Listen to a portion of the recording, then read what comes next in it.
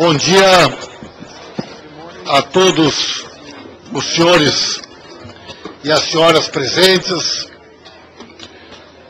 Declaro iniciada a primeira reunião de audiência pública de 2012 da Comissão Mista de Planos, Orçamentos Públicos e Fiscalização. Esta reunião foi convocada com a finalidade de debater o tema Parlamento aberto, transparência e controle social para um Congresso mais colaborativo.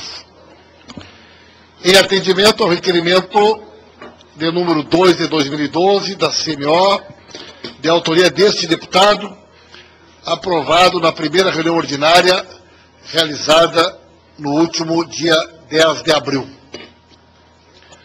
Informo aos senhores e senhoras está sendo distribuído o presente aparelho de tradução simultânea. Peço a gentileza que, ao sair do recinto, faça uma devolução aos funcionários da Secretaria da Comissão. Quero registrar aqui, agradecer a presença do nosso diretor do Departamento de Comissões, doutor Luiz Antônio Eira. Já esteve aqui, estará retornando em breve a nossa amiga Cássia Regina, diretora do Departamento de Taquigrafia. Quero aqui, na pessoa do Cristiano Ferri, coordenador do programa de Democracia, agradecer a toda a equipe que foi fundamental para que nós pudéssemos proporcionar aos nossos servidores e servidoras da Câmara e do Senado esse momento aqui tão importante, na pessoa da Socorro, a toda a nossa equipe da Secretaria, e na pessoa do Wagner, aos consultores da Comissão do Orçamento, tanto da Câmara e do Senado. Eu quero dizer a vocês que estou muito feliz com a presença de todos os senhores e as senhoras aqui, já disse várias vezes e repito que eu sou um admirador dos servidores e servidoras da nossa casa, servidores efetivos e efetivas, da qualidade do nosso grupo de trabalho e dos servidores e servidoras dos gabinetes, das lideranças, que têm acompanhado aqui o nosso trabalho na Comissão de Orçamento. E durante o ano passado, junto com o doutor Luiz Antônio, eu tive a honra de coordenar esse grupo de participação popular, criado pelo presidente Marco Maia, onde eu era o único deputado, todos os demais componentes servidores da casa. Então eu estou muito feliz com a presença de vocês, espero que a gente possa ter hoje aqui um dia importante para o parlamento, também representantes de entidades, parceiras da casa e da comissão, que estão aqui presentes conosco nessa manhã. Nós temos a felicidade de poder estar recebendo hoje alguns dos mais importantes estudiosos, acadêmicos, especialistas desta área de governos abertos e parlamento aberto. O Brasil sediou, nos últimos dois dias, a primeira cúpula mundial de governos abertos, onde o Brasil e os Estados Unidos coordenam um esforço mundial nesse sentido. E através do Cristiano, tivemos a felicidade de termos aqui na casa hoje a presença desses palestrantes. Nós vamos tomar, inclusive, a iniciativa de produzirmos uma separata desta nossa reunião, para que ela possa servir como instrumento de trabalho, de qualificação da nossa atividade dentro do Poder Legislativo. Eu quero apresentar os senhores e as senhoras, então, o senhor Tiago Peixoto, brasileiro, especialista em governo aberto do Banco Mundial. Quero apresentar o senhor André Mandelbaum. Vai ser bravo agora eu acertar esses sobrenomes. Especialista em transparência legislativa da National Democratic Institute. Da onde que é o senhor André? Qual é o país? Dos Estados Unidos. Traduzir agora a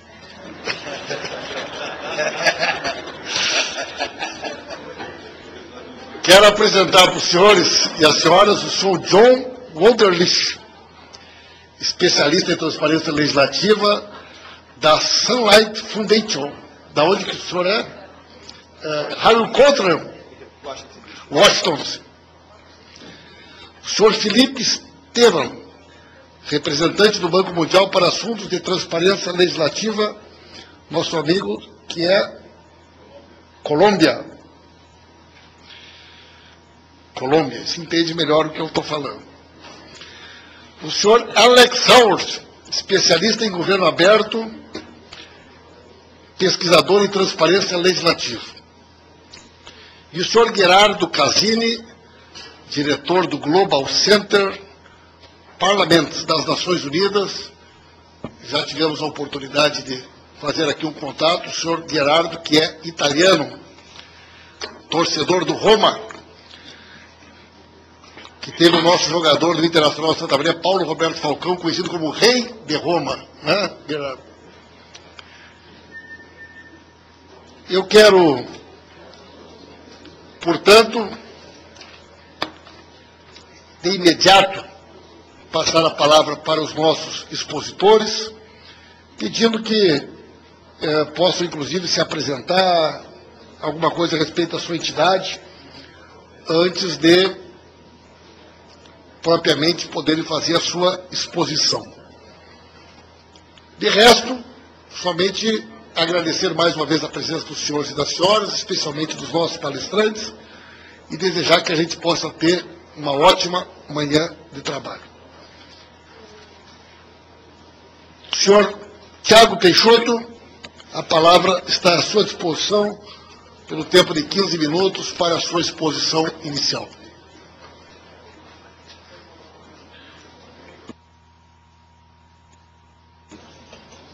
Bom, é, antes de tudo, senhor deputado, muito obrigado. É uma honra é, poder estar aqui.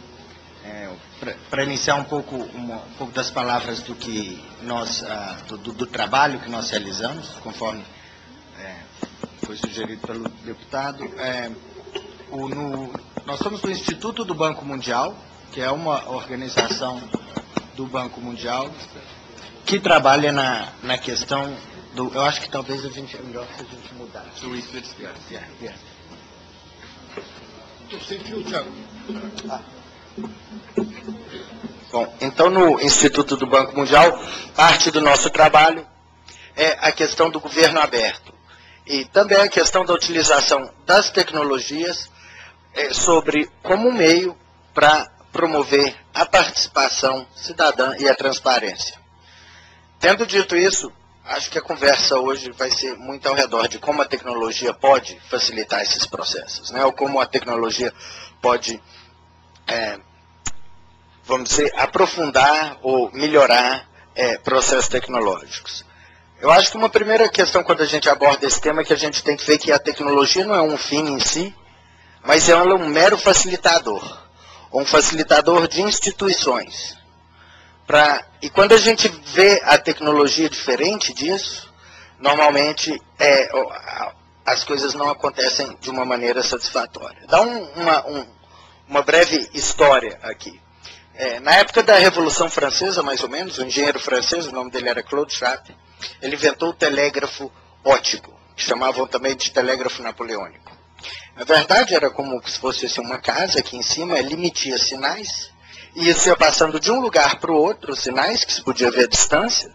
Né? Ou seja, naquele momento começou a ser possível comunicar ideias e noções né, com, em um tempo recorde.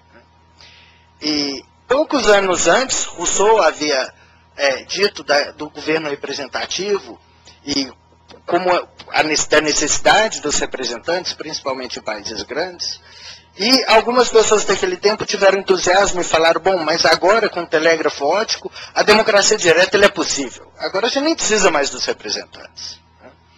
E houve um entusiasmo ao redor da tecnologia. O que aconteceu é que a, a democracia representativa continuou existindo e o telégrafo ótico foi substituído por outras tecnologias.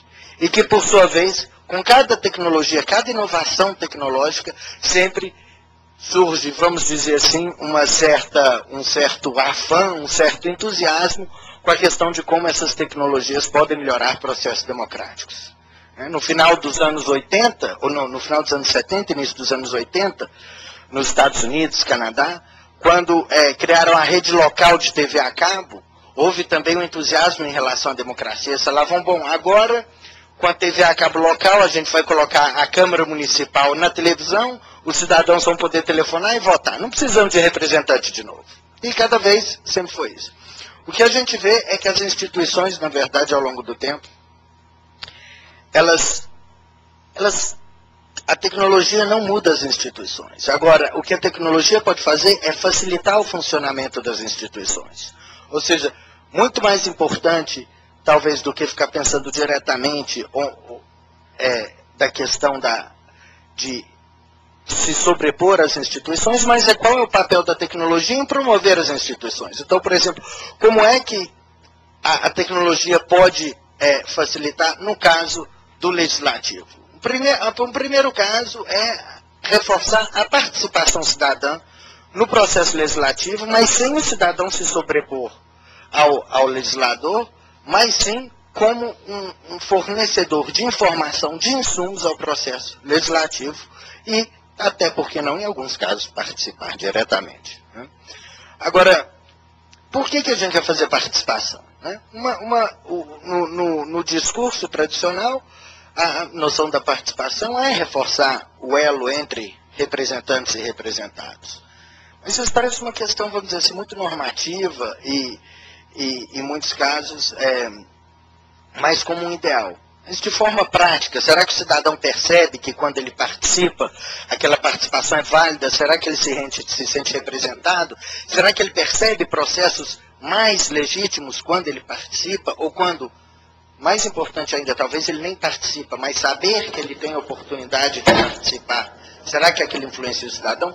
Uma coisa que pouquíssimas pessoas sabem sobre participação e que demonstram que o cidadão é sensível ao fato da, da oportunidade de participar, é que em países onde existem mais oportunidades de participação, independente da economia, cultura e tudo, a evasão fiscal é menor.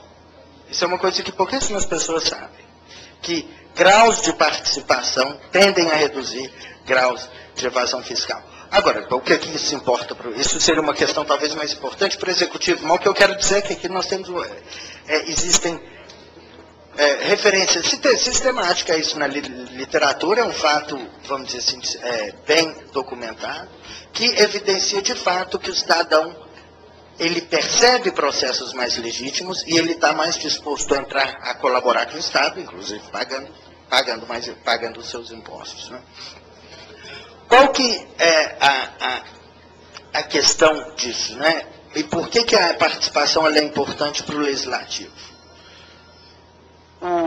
Aqui não é uma opinião minha, eu estou pensando principalmente na, na, na, na, literatura que trata do tema, e quando a gente olha no, no Brasil os, as assembleias legislativas e os estaduais, o que os, os atores vão dizer é que, de fato, Alguns, algumas assembleias têm uma capacidade mais forte de lidar, de assumir o seu papel de representação, de monitoramento e assim por diante, vis-à-vis -vis do executivo. E o que eles vão dizer que dá essa capacidade, alguns autores vão defender, que é justamente que essas assembleias legislativas elas têm canais de participação ou elas criam mais canais de participação que acabam alavancando o conhecimento, que faz com que o legislativo esteja mais capaz de entrar, vamos dizer assim, numa relação dialética entre o executivo e legislativo, que é a natureza da relação entre essas duas é, instituições. Né? Ah, agora, eu tive aqui na casa para dar um curso quando eu ah, ainda era pesquisador, há quatro anos atrás, e nessa época a casa já estava dando um passo que quase ninguém estava dando, com o projeto É Democracia. Que, diga-se de passagem, é, aqui no Brasil a gente tem essa expressão, né, santo de casa não faz milagre, mas que, diga-se de passagem, que é reconhecido internacionalmente como um dos processos mais interessantes na área de democracia eletrônica. Agora, quais são os próximos passos? Né? Uma casa que está inovando e que nos últimos quatro anos a democracia amadureceu em termos de tecnologia, em termos de conceitualização, como se a participação, porque também é uma questão difícil que você tem que aprender. Principalmente quando você quer ser pioneiro, é a dor, a dor do pioneiro é a dor de ter que errar mais.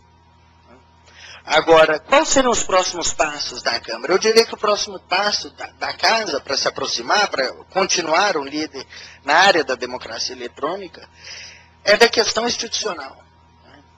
A, a questão é, institucional, ou seja, uma reforma institucional da participação. E o que, que eu quero dizer com isso? É como é que a gente vai criar canais de participação digital onde a participação do cidadão é de fato reconhecida como um efeito. Eu estou falando aqui de uma questão muito simples, que seria, uma, ao mesmo tempo, uma revolução institucional na participação no Brasil, que é poder começar a autenticar a participação do cidadão via internet. Porque querer que, que, querer evitar esse caso, essa questão do cidadão poder participar na internet, ou não autenticar, ou não considerar isso válido, e aí eu estou fazendo uma, uma referência aqui ao projeto cidadão digital, né? é, de certa forma, poderia ser, ou algumas pessoas poderiam indicar que a gente não está acompanhando o passo. Né? É mais ou menos como se a gente pegasse e falasse que todo mundo tem que cozinhar com fogão de lenha, até hoje. Comida só é boa se tiver fogão de lenha. É boa, mas tem, temos outras tecnologias e as pessoas estão usando essas tecnologias. Agora, aqui, cabe né, é, uma, é, uma, é uma escolha das instituições se elas acompanham esse desenvolvimento tecnológico ou não. Né? A gente pode acompanhar ou não. Agora, o cidadão ele já fez a escolha dele, ele já está lá. Né? Agora, resta saber se as instituições querem encontrar o cidadão lá é, nesse, nesse local. Eu não quero prolongar muito, mas então se eu pudesse dar uma mensagem, é que eu acho que se pudesse pensar somente, aqui é, uma, é mais uma, uma questão de sugestão, pensando na, na, na questão da, da, tecnologia e participação, quais são os mecanismos institucionais que a gente pode é, formular para poder utilizar o potencial que é oferecido pela tecnologia. Mas tecnologia sem canais institucionais, ela faz muito pouco. Se não, nesse caso, a gente vai ter a internet para o sistema representativo, vai ter um, um, destino semelhante àquele do telégrafo napoleônico, ou seja, os ideais não vão se realizar. Muito obrigado.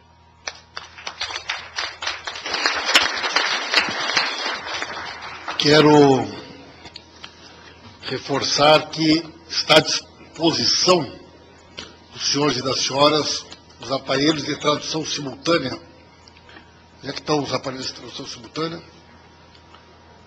Estão lá no fundo. Então, o pessoal que quiser fazer uso, a partir de agora nós vamos ter as participações dos nossos convidados, que vão precisar aí, talvez, da tradução. Quero registrar aqui a presença da dona senhora Sônia Hipólito, secretária da Comissão de Legislação Participativa, junto com a Áurea, que eu tive a honra de presidir a comissão, que é uma pioneira na discussão da legislação participativa aqui na nossa casa.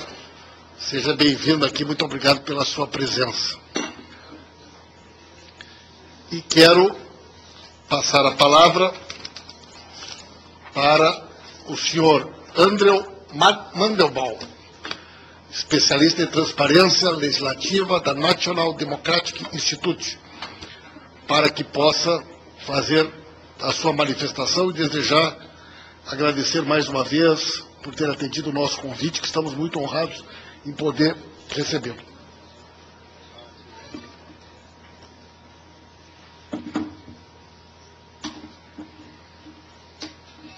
Honorable uh, President of the Budget Committee, uh, honorável colegas aqui do Comitê da Comissão e cidadãos do Brasil, muito obrigado por essa oportunidade de estar aqui. É de fato realmente uma grande honra estar aqui. Estou com muito prazer em estar aqui. Meu nome é, meu nome é Andrew Mendelbaum, sou especialista na Instituto Democrático é uma organização não profissional é, em Washington, mas estamos em mais de 60 países e com o intuito de, de reforçar instituições democráticas uh, ao redor do mundo. E para fazer isso, nós trabalhamos com outras organizações, com partidos políticos, com legisladores, é, executivo e outras pessoas interessadas. Eu trabalho com é, um time de governança e nós ajudamos é, nossos escritórios regionais e nossos legisladores com mais ou menos 25 até 30 é, pessoas ao redor do mundo, com diferentes capacidades, ajudando os cidadãos a engajarem nesses processos legislativos e, e trabalhar com seus representantes. Então, eu também estou envolvido em muitos dos nossos trabalhos com monitorar essas é, organizações de, de, de, transparência também. Também gostaria de mencionar que trabalhamos com muitas associações, é, por exemplo, a, as Confederações, para também utilizar novos padrões de, de gestão trans, democrática e transparente. Por exemplo, nós trazendo uma ideia o que significa um, parlamento mais transparente. Então, trazer um pouco mais da, do que, que isso significa neste processo, trazer valores para os cidadãos. Então, eu espero que vocês consigam entender um pouco da minha apresentação, do que eu vou falar. Eu vou falar rapidamente sobre as características desse processo dessas PMOs, que são parcerias governos abertos, é, quais são os desafios, quais são os nossos próximos, próximos passos a ser tomados. Então, tudo isso é, é baseado em pesquisas que, nós, que eu, eu conduzi no meu departamento e também no Banco Mundial. Como você pode ver, por exemplo, o link aqui nesse, no final ali da, do meu slide. Então, tem mais ou menos 109 é, organizações monitoras de, dos, dos, parlamentos ao redor do mundo, monitorando mais de 180 é, parlamentos. Então, isso é uma prática muito comum no, ao redor do mundo. Como você pode ver, tem mais na América Latina do que em qualquer outro lugar. Eles estão sendo monitorados mais ou menos 42 em pelo menos 13 parlamentos, e talvez mais do, uh, presentemente, mas também presente no é, Oriente Médio, na África subsaariana. Então, a maioria dessas organizações que monitoram, elas estão no Parlamento Nacional, mas também também a nível regional ou subnacionais, por exemplo, legisladores estaduais e também nas assembleias é, é, municipais. Também é, o que essas organizações fazem é desenvolver as, esses ICTs, que são tecnologias de informação e comunicação. Então, são plataformas online que vão ajudá-los a engajar com seus representantes e também para ajudar mais sobre o processo é, legislativo e saber o que está acontecendo no parlamento é, deles.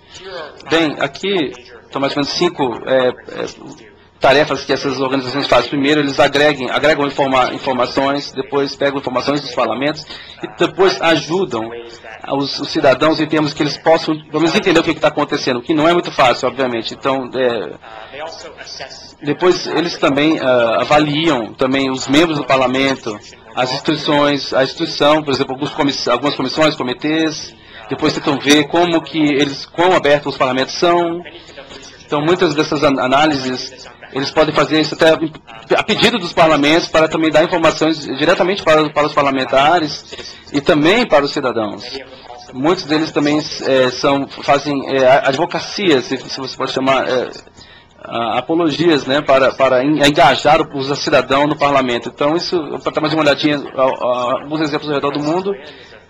Esse aqui é uma organização francesa que eu, eu dou aqui um exemplo. Fo, estão focando num, num assunto específico e vão te dizer quais são os partidos, os partidos políticos que estão discutindo aquele assunto. Se você for no lado direito, por exemplo, isso, algumas palavras que são se você clicar uma daquelas palavras-chave, é, você vai ver onde é que elas foram é, mencionadas né, nos, nos, relatórios, nas discussões do parlamento, e também vai dar é, é, os links para todos os, os, documentos que foram elaborados, e também se torna fácil então encontrar uma lei que, por exemplo, seja é, relacionada a outra lei, então ajudar no processo de descobrir o que, que está realmente, no, no, não apenas pedaços pequenos da legislação, mas todos os, o, o, corpo inteiro dessas leis que, que, envolvem esses assuntos. Aqui na América Latina também tem um outro excelente é, rede de 15 é, organizações que monitoram parlamentos em cinco países. Na Argentina, Chile, Colômbia, Peru e México. Bem, e eles estão trabalhando juntos para nesse eh, projeto de parâmetro para transparência, estão olhando, por exemplo, com a participação dos parlamentos, dos cidadãos do parlamento, a, a estrutura regulatória para transparência, a capacidade orçamentária, como que ela é transparente, e também a gestão do processo legislativo. Então, o, o site é transparencialegislativa.org. Agora, esse é outro exemplo aqui do Reino Unido, é uma sociedade que faz é, é, pesquisas para apoiar diretamente o parlamento, em vez eles, não, eles são é, umas uh, ONG, essas auditorias de, de engajamento político são, são pedidos anualmente e é uma pesquisa que eles conduzem a fim de ajudar o parlamento como o quão, bem sucedido eles têm sido em realmente alcançar os seus cidadãos, onde eles devem realmente focar mais. Então, geralmente, eles vão mais é, amplamente depois, ou depois estão mais é, pontuais no, no momento de, do ano. Então, isso tem sido uma, uma grande é, ferramenta para os parlamentares e também para os, seus, para os, os, os gabinetes também entenderem como chegar mais perto dos seus cidadãos. Também falando um pouco sobre... Na própria biblioteca, então às vezes eles acham que eles são as únicas pessoas que vão dizer que mas também os legisladores querem é, se, é, é, representar também os seus cidadãos e deixar de se representar apenas a si mesmos. Então, outras dessas organizações também fazem é, apologias, ou, ou a, a, divulgando algumas ideias, como essa daqui, é, essa palavra é, árabe, acredito, mas que na verdade é, uma, é um, um compromisso que durante o seu período de campanha eleitoral espere os, os candidatos para então assinar esse compromisso. E basicamente incluindo nesse compromisso algumas palavras como eu vou, quando eu me for eleito, eu vou ajudar a criar um, por exemplo, alguma coisa sobre em, em éticas, então, por exemplo, é como uma, uma meio que uma, é um, é um termo de compromisso, né, que, que eles acabam assinando. Então, mais um último exemplo, mais um outro exemplo de engajamento de cidadão, também no Reino Unido, de uma sociedade, o que eles fizeram é, durante a, campanha eleitoral, eles também criaram uma ferramenta para ajudar cidadãos a engajarem seus membros no Congresso e também descobrir exatamente o que eles fazem e quais são as suas posições, porque nem sempre é tão fácil de descobrir essas coisas. Então havia questões locais, e para isso, então, eles tinham então os, os, os cidadãos então entravam então no, no, no, site e então escreviam as perguntas que eles queriam saber sobre um determinado local, um distrito. Então eles tinham, por exemplo, eles então tornavam isso mais interessante para o interesse para o, para o cidadão para participar. Também tinham um, um, umas redes para você saber o que, que os outros é, é, constituintes estão recomendando, é, é, é, quais são as respostas e o que, que eles estão recomendando também. E também haviam questões nacionais que foram colocadas por especialistas, é, acadêmicos, professores, para também ajudar a essas, a, essas organizações para também, é, oh, perdão, os parlamentares a também é, se tornarem mais comprometidos com, com, com os cidadãos. Então também tem várias histórias então de sucesso e o que eles na verdade desenvolvem um senso então de, de transparência e, e, a, e a, a, responsabilidade, prestação de contas do que eles estão fazendo aqui. Mais alguns exemplos de sucesso na Uganda, por exemplo, na África. Então, é, o Instituto Nacional de Liderança da África então, elaborou esse, esses esse, esse cartão ali para avaliar o, o, a qualidade do, da participação dos seus cidadãos.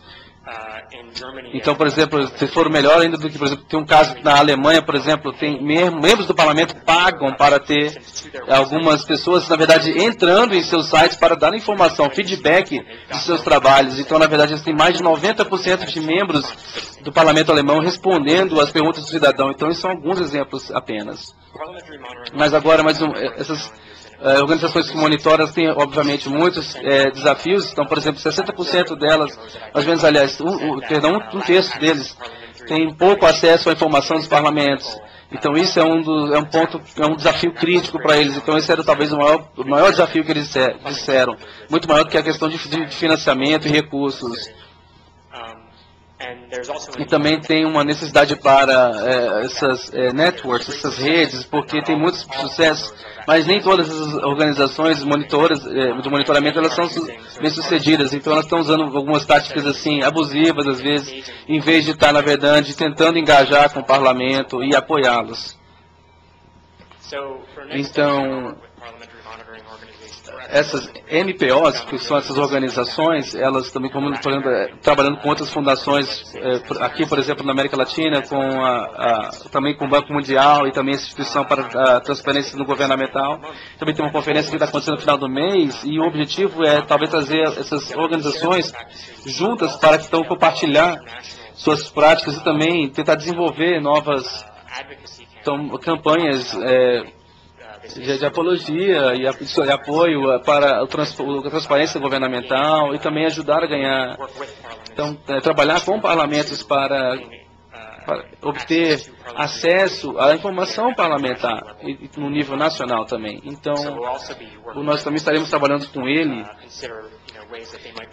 maneiras como nós podemos estar trabalhando é, tecnologias e ferramentas para que essas MPOs e os parlamentos também possam então se beneficiar dessas tecnologias que estão sendo desenvolvidas e todas essas práticas que estão sendo estão criadas como nós é, à medida que a gente está falando aqui. Então a razão pela qual Viva Brasília, primeiro momento, além disso aqui, foi a, conferência sobre governos abertos, parceria de governos abertos, onde nós queremos que os governos se, eh, se comprometam a se tornar mais transpa transparente. Então, perguntas têm sido levantadas, então, como o parlamento pode estar mais envolvido nesse processo. E, obviamente, eles são cruciais para quaisquer reformas que qualquer governo que deseja fazer. Então, ainda nós precisamos, é, para ver como é que eles vão estar, tá, se, então mais ou menos já fizemos por sete, 70 países já se comprometeram, então isso é uma grande oportunidade. Muito obrigado. Muito obrigado ao Andrew pela sua manifestação.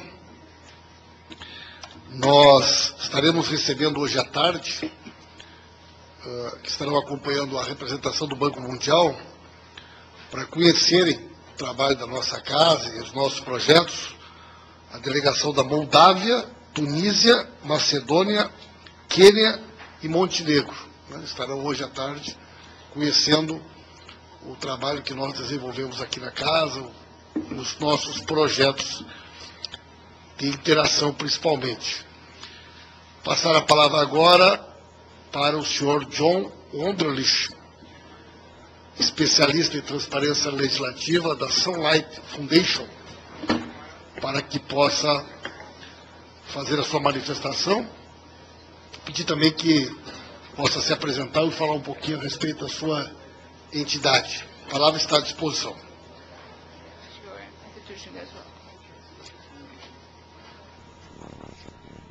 Caro?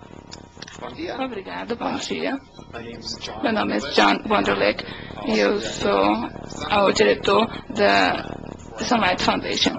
Bom, eu vou falar, antes de falar um pouco sobre essa fundação, primeiro eu gostaria de agradecer pela a, a comissão e ao Congresso Brasileiro pela nossa visita aqui, pelo convite. Também gostaria de dizer que é uma grande honra falar sobre alguns trabalhos que nós estamos desenvolvendo nos Estados Unidos com a parceria do Brasil.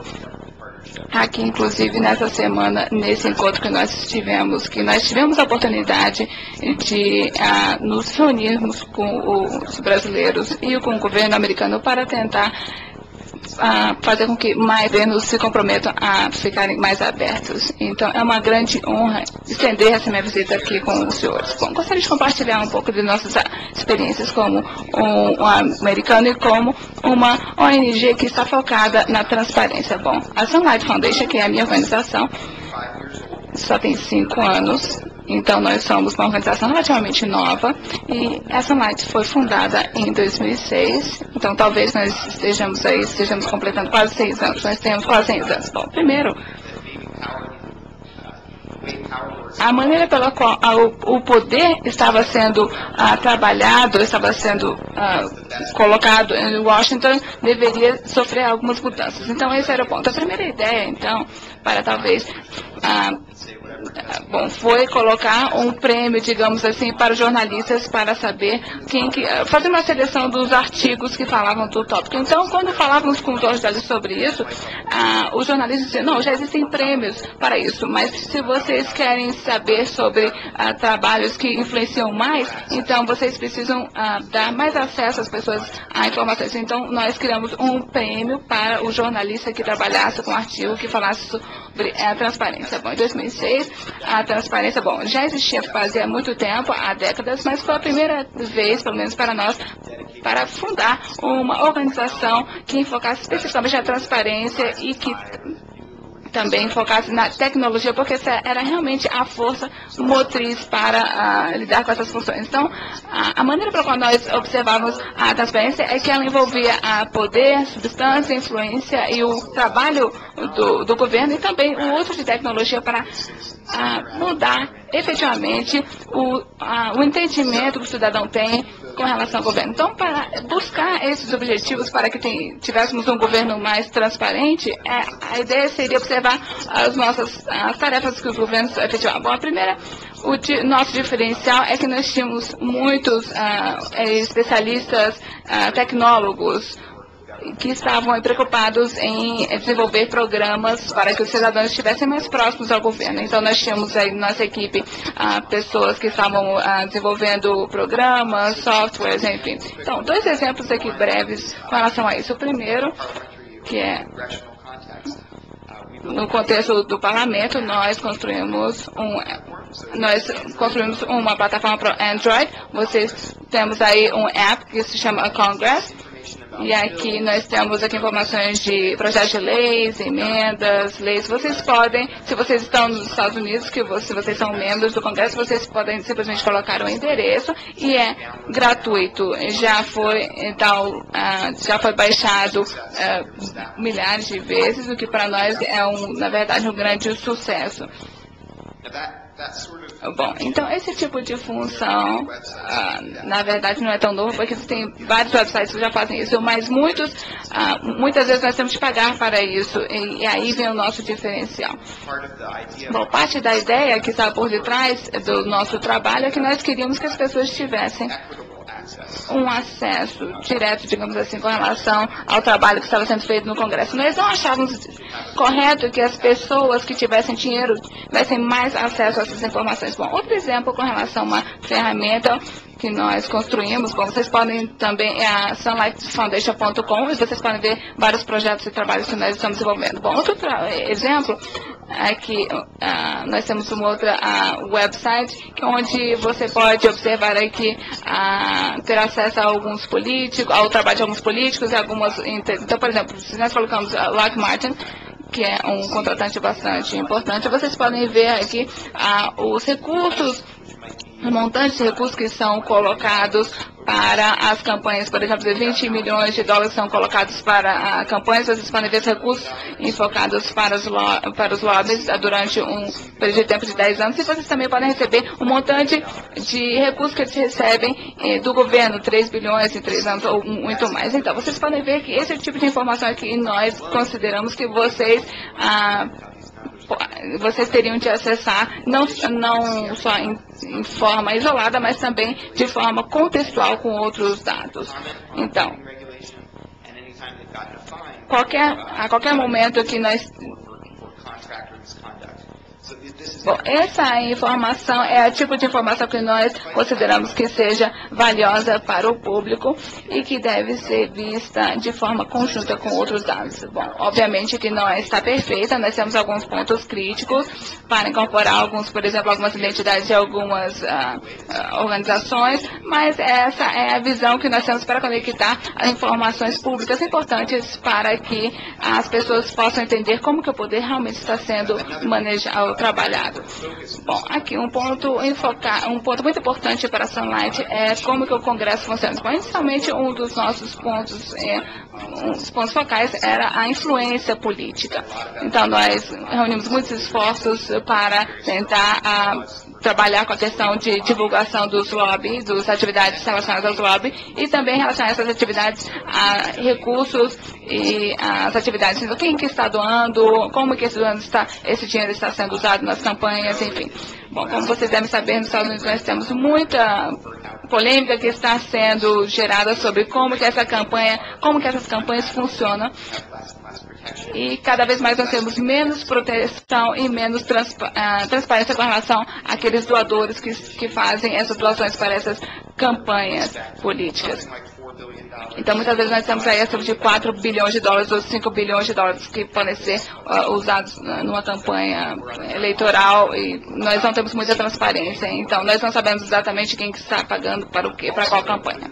Bom, também dentro do Congresso, nós também consideramos muito uh, aquele cidadão que quer simplesmente saber o que, que o, o que, que está acontecendo no Congresso. Se a pessoa está online, a ideia é que a pessoa se engaje aí nas, ah, nas atividades que estão sendo publicadas. Inclusive, nós acabamos de lançar um estudo que diz que ó, a, o Congresso faz uh, trabalhos bastante interessantes, mas existe uma lacuna. Uh, Uh, existe uma lacuna que está relacionada com os comitês e as suas, as suas audiências. Eu não sei se é eles, bom, eles deveriam uh, ser mais transparentes, mas simplesmente não fazem. Então, nós também tentamos pressionar essa parte do Congresso. Nós também uh, tentamos rastrear, acompanhar os transcritos, as transcrições, as emendas, os projetos de leis, para que as pessoas saibam melhor o que, que os congressos, o Congresso uh, está fazendo. Então, estamos também uh, enfocando uh, informações mais confiáveis e também em momento oportuno, em tempo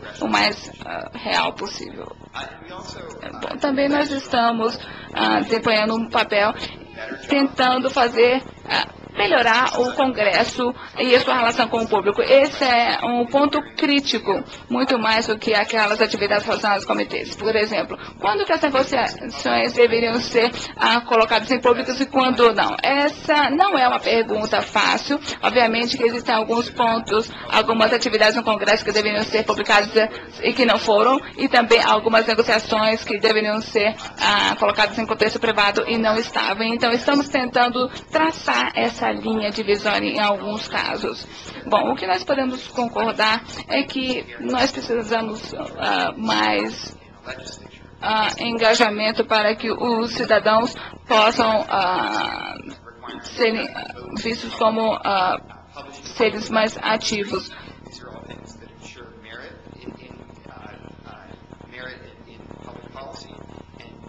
Obviamente que isso também pode fazer com que nós protejamos mais os interesses dos públicos. Esses são pontos complicados. Eu acredito que uma das coisas que nós aprendemos, como à medida que a internet vai vai sofrendo transformações, a nossa, a nossa expectativa está maior do que antes. Não é ok simplesmente ah, publicar um documento a cada seis meses e dizer, não, está tudo publicado, vocês podem ter acesso simplesmente. Não, a nova expectativa é que, bom, se a, se a informação os procedimentos são públicos, então eles devem estar online diretamente. E isso é o que nós estamos tentando ah, pressionar para que esteja plasmado em uma lei, para que o público não seja simplesmente, no, ah, os documentos não estejam simplesmente arquivados, mas sim devem estar publicados na internet. Bom, esse é mais ou menos é o tipo de trabalho que a nossa fundação faz. Então, acredito, bom, eu não sei muito mais sobre a transparência no contexto brasileiro, mas da, da minha perspectiva e experiência, as nossas expectativas estão crescendo, a transparência está cada vez mais importante e também é um ponto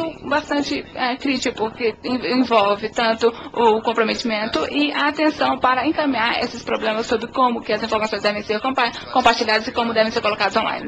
Então é por isso que eu estou muito contente de estar aqui com os senhores e compartilhar essas informações. Obrigada. Muito obrigado ao nosso amigo John pela sua manifestação. Eu quero registrar aqui que identifiquei a presença e participação aqui da deputada Cida Borghetti, do Paraná, deputado Felipe Maia, do Rio Grande do Norte, deputado Sirac, de São Paulo, deputado Nazareno Fonteles, do Piauí, deputado Paulo Rubens Santiago, de Pernambuco, deputado Amauri, da Bahia, foi um dos parlamentares que identifiquei as suas presenças aqui conosco. E quero passar a palavra para o senhor Felipe Stefan, representante do Banco Mundial para assuntos de transparência legislativa, para que faça a sua manifestação e desde já agradecendo por ter atendido gentilmente o nosso convite. A palavra está à sua disposição. Bom dia.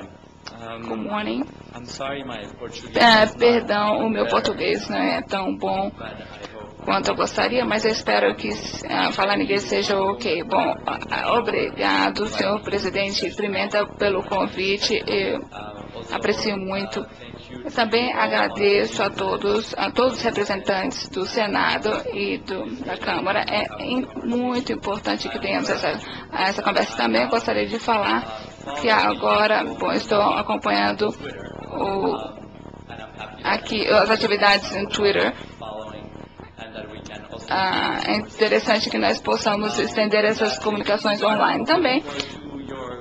Também estou ah, muito ansioso para responder essa, as suas perguntas. Não ah, fique à vontade para me interromper, se os senhores quiserem, ou depois da minha apresentação. Eu, eu, também posso, vocês podem acompanhar meu Twitter, ah, que é o meu nome, Felipe Stefan. E eu ficarei muito contente a responder qualquer, quaisquer perguntas ou comentários. Bom, eu gostaria de começar com uma história que sempre me surpreende muito. É a história de dois irmãos. Não sei quantos dos senhores ah, cresceram com os irmãs e irmãos, mas eu tenho uma irmã e um irmão. E quando nós estávamos crescendo, ah, um de nós estávamos fazendo algo que não era muito correto, não era tão errado, mas nós não queríamos, ah, nós não queríamos que os nossos pais soubessem. Então,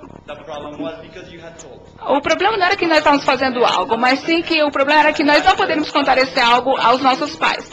Então, gostaria de dizer que existem muitas pessoas que estão nesse mesmo tipo de raciocínio. Eles dizem, por favor, não digam que nós, está, uh, não digam que nós estamos faz, fazendo, embora não estejam fazendo algo 100% errado. Bom, então, então muitas vezes de, nós dizemos que, bom, essa não, não temos a tecnologia apropriada, não é o momento ideal, mas se, se qualquer pessoa ah, diz, por favor, ah, não digam nada sobre o que eu estou fazendo, na verdade, de fato, o que está acontecendo é que eles sim, estão fazendo algo errado. Bom, gostaria de abrir minha, a, a minha apresentação sobre isso, porque acredito que essa seja uma boa lembrança sobre a linha de que eu quero seguir aqui. Bom, a minha apresentação vai ser sobre ah, engajamento mais do que a abertura em si, porque acredito que a nova estágio da abertura está mais relacionada com o engajamento. Então, vou falar muito rapidamente sobre três pontos, o que eu considero ser os novos estágios do chamado engajamento, o que veio da, o que foi resultado da reunião que nós tivemos presentes nos últimos dois dias, que eu acredito que é bastante relevante para os trabalhos que vocês estão fazendo, e também vou concluir com a importância da intercâmbio de conhecimento e o papel que, que deve que todos nós devemos eh, desempenhar quando nós falamos, do, quando nós falamos de, de uma legenda legislativa aberta. Bom, vou começar aqui falando sobre por que eu considero o engajamento como um novo estágio da abertura. Eu acredito que a abertura não é e não pode ser o o destino, o, o destino final. Não, a abertura nos a, possibilita ter a, uma maior participação, uma maior eficiência e também permite o governo, todos os, poder, os três poderes do governo, para que eles possam oferecer melhores serviços e condições para os cidadãos. Bom, acredito que a questão é o impacto que a agenda tem na vida diária dos cidadãos. Esse, na verdade, é o ponto focal. Bom, pensando aqui em termos gerais, a, a agenda global aberta, ela tem sido muito eficiente em termos de abrir várias portas, mas nós não fomos tão eficientes, eficientes quando nós se nós enfocássemos no quantas pessoas estão de fato ah, atravessando essas portas agora abertas.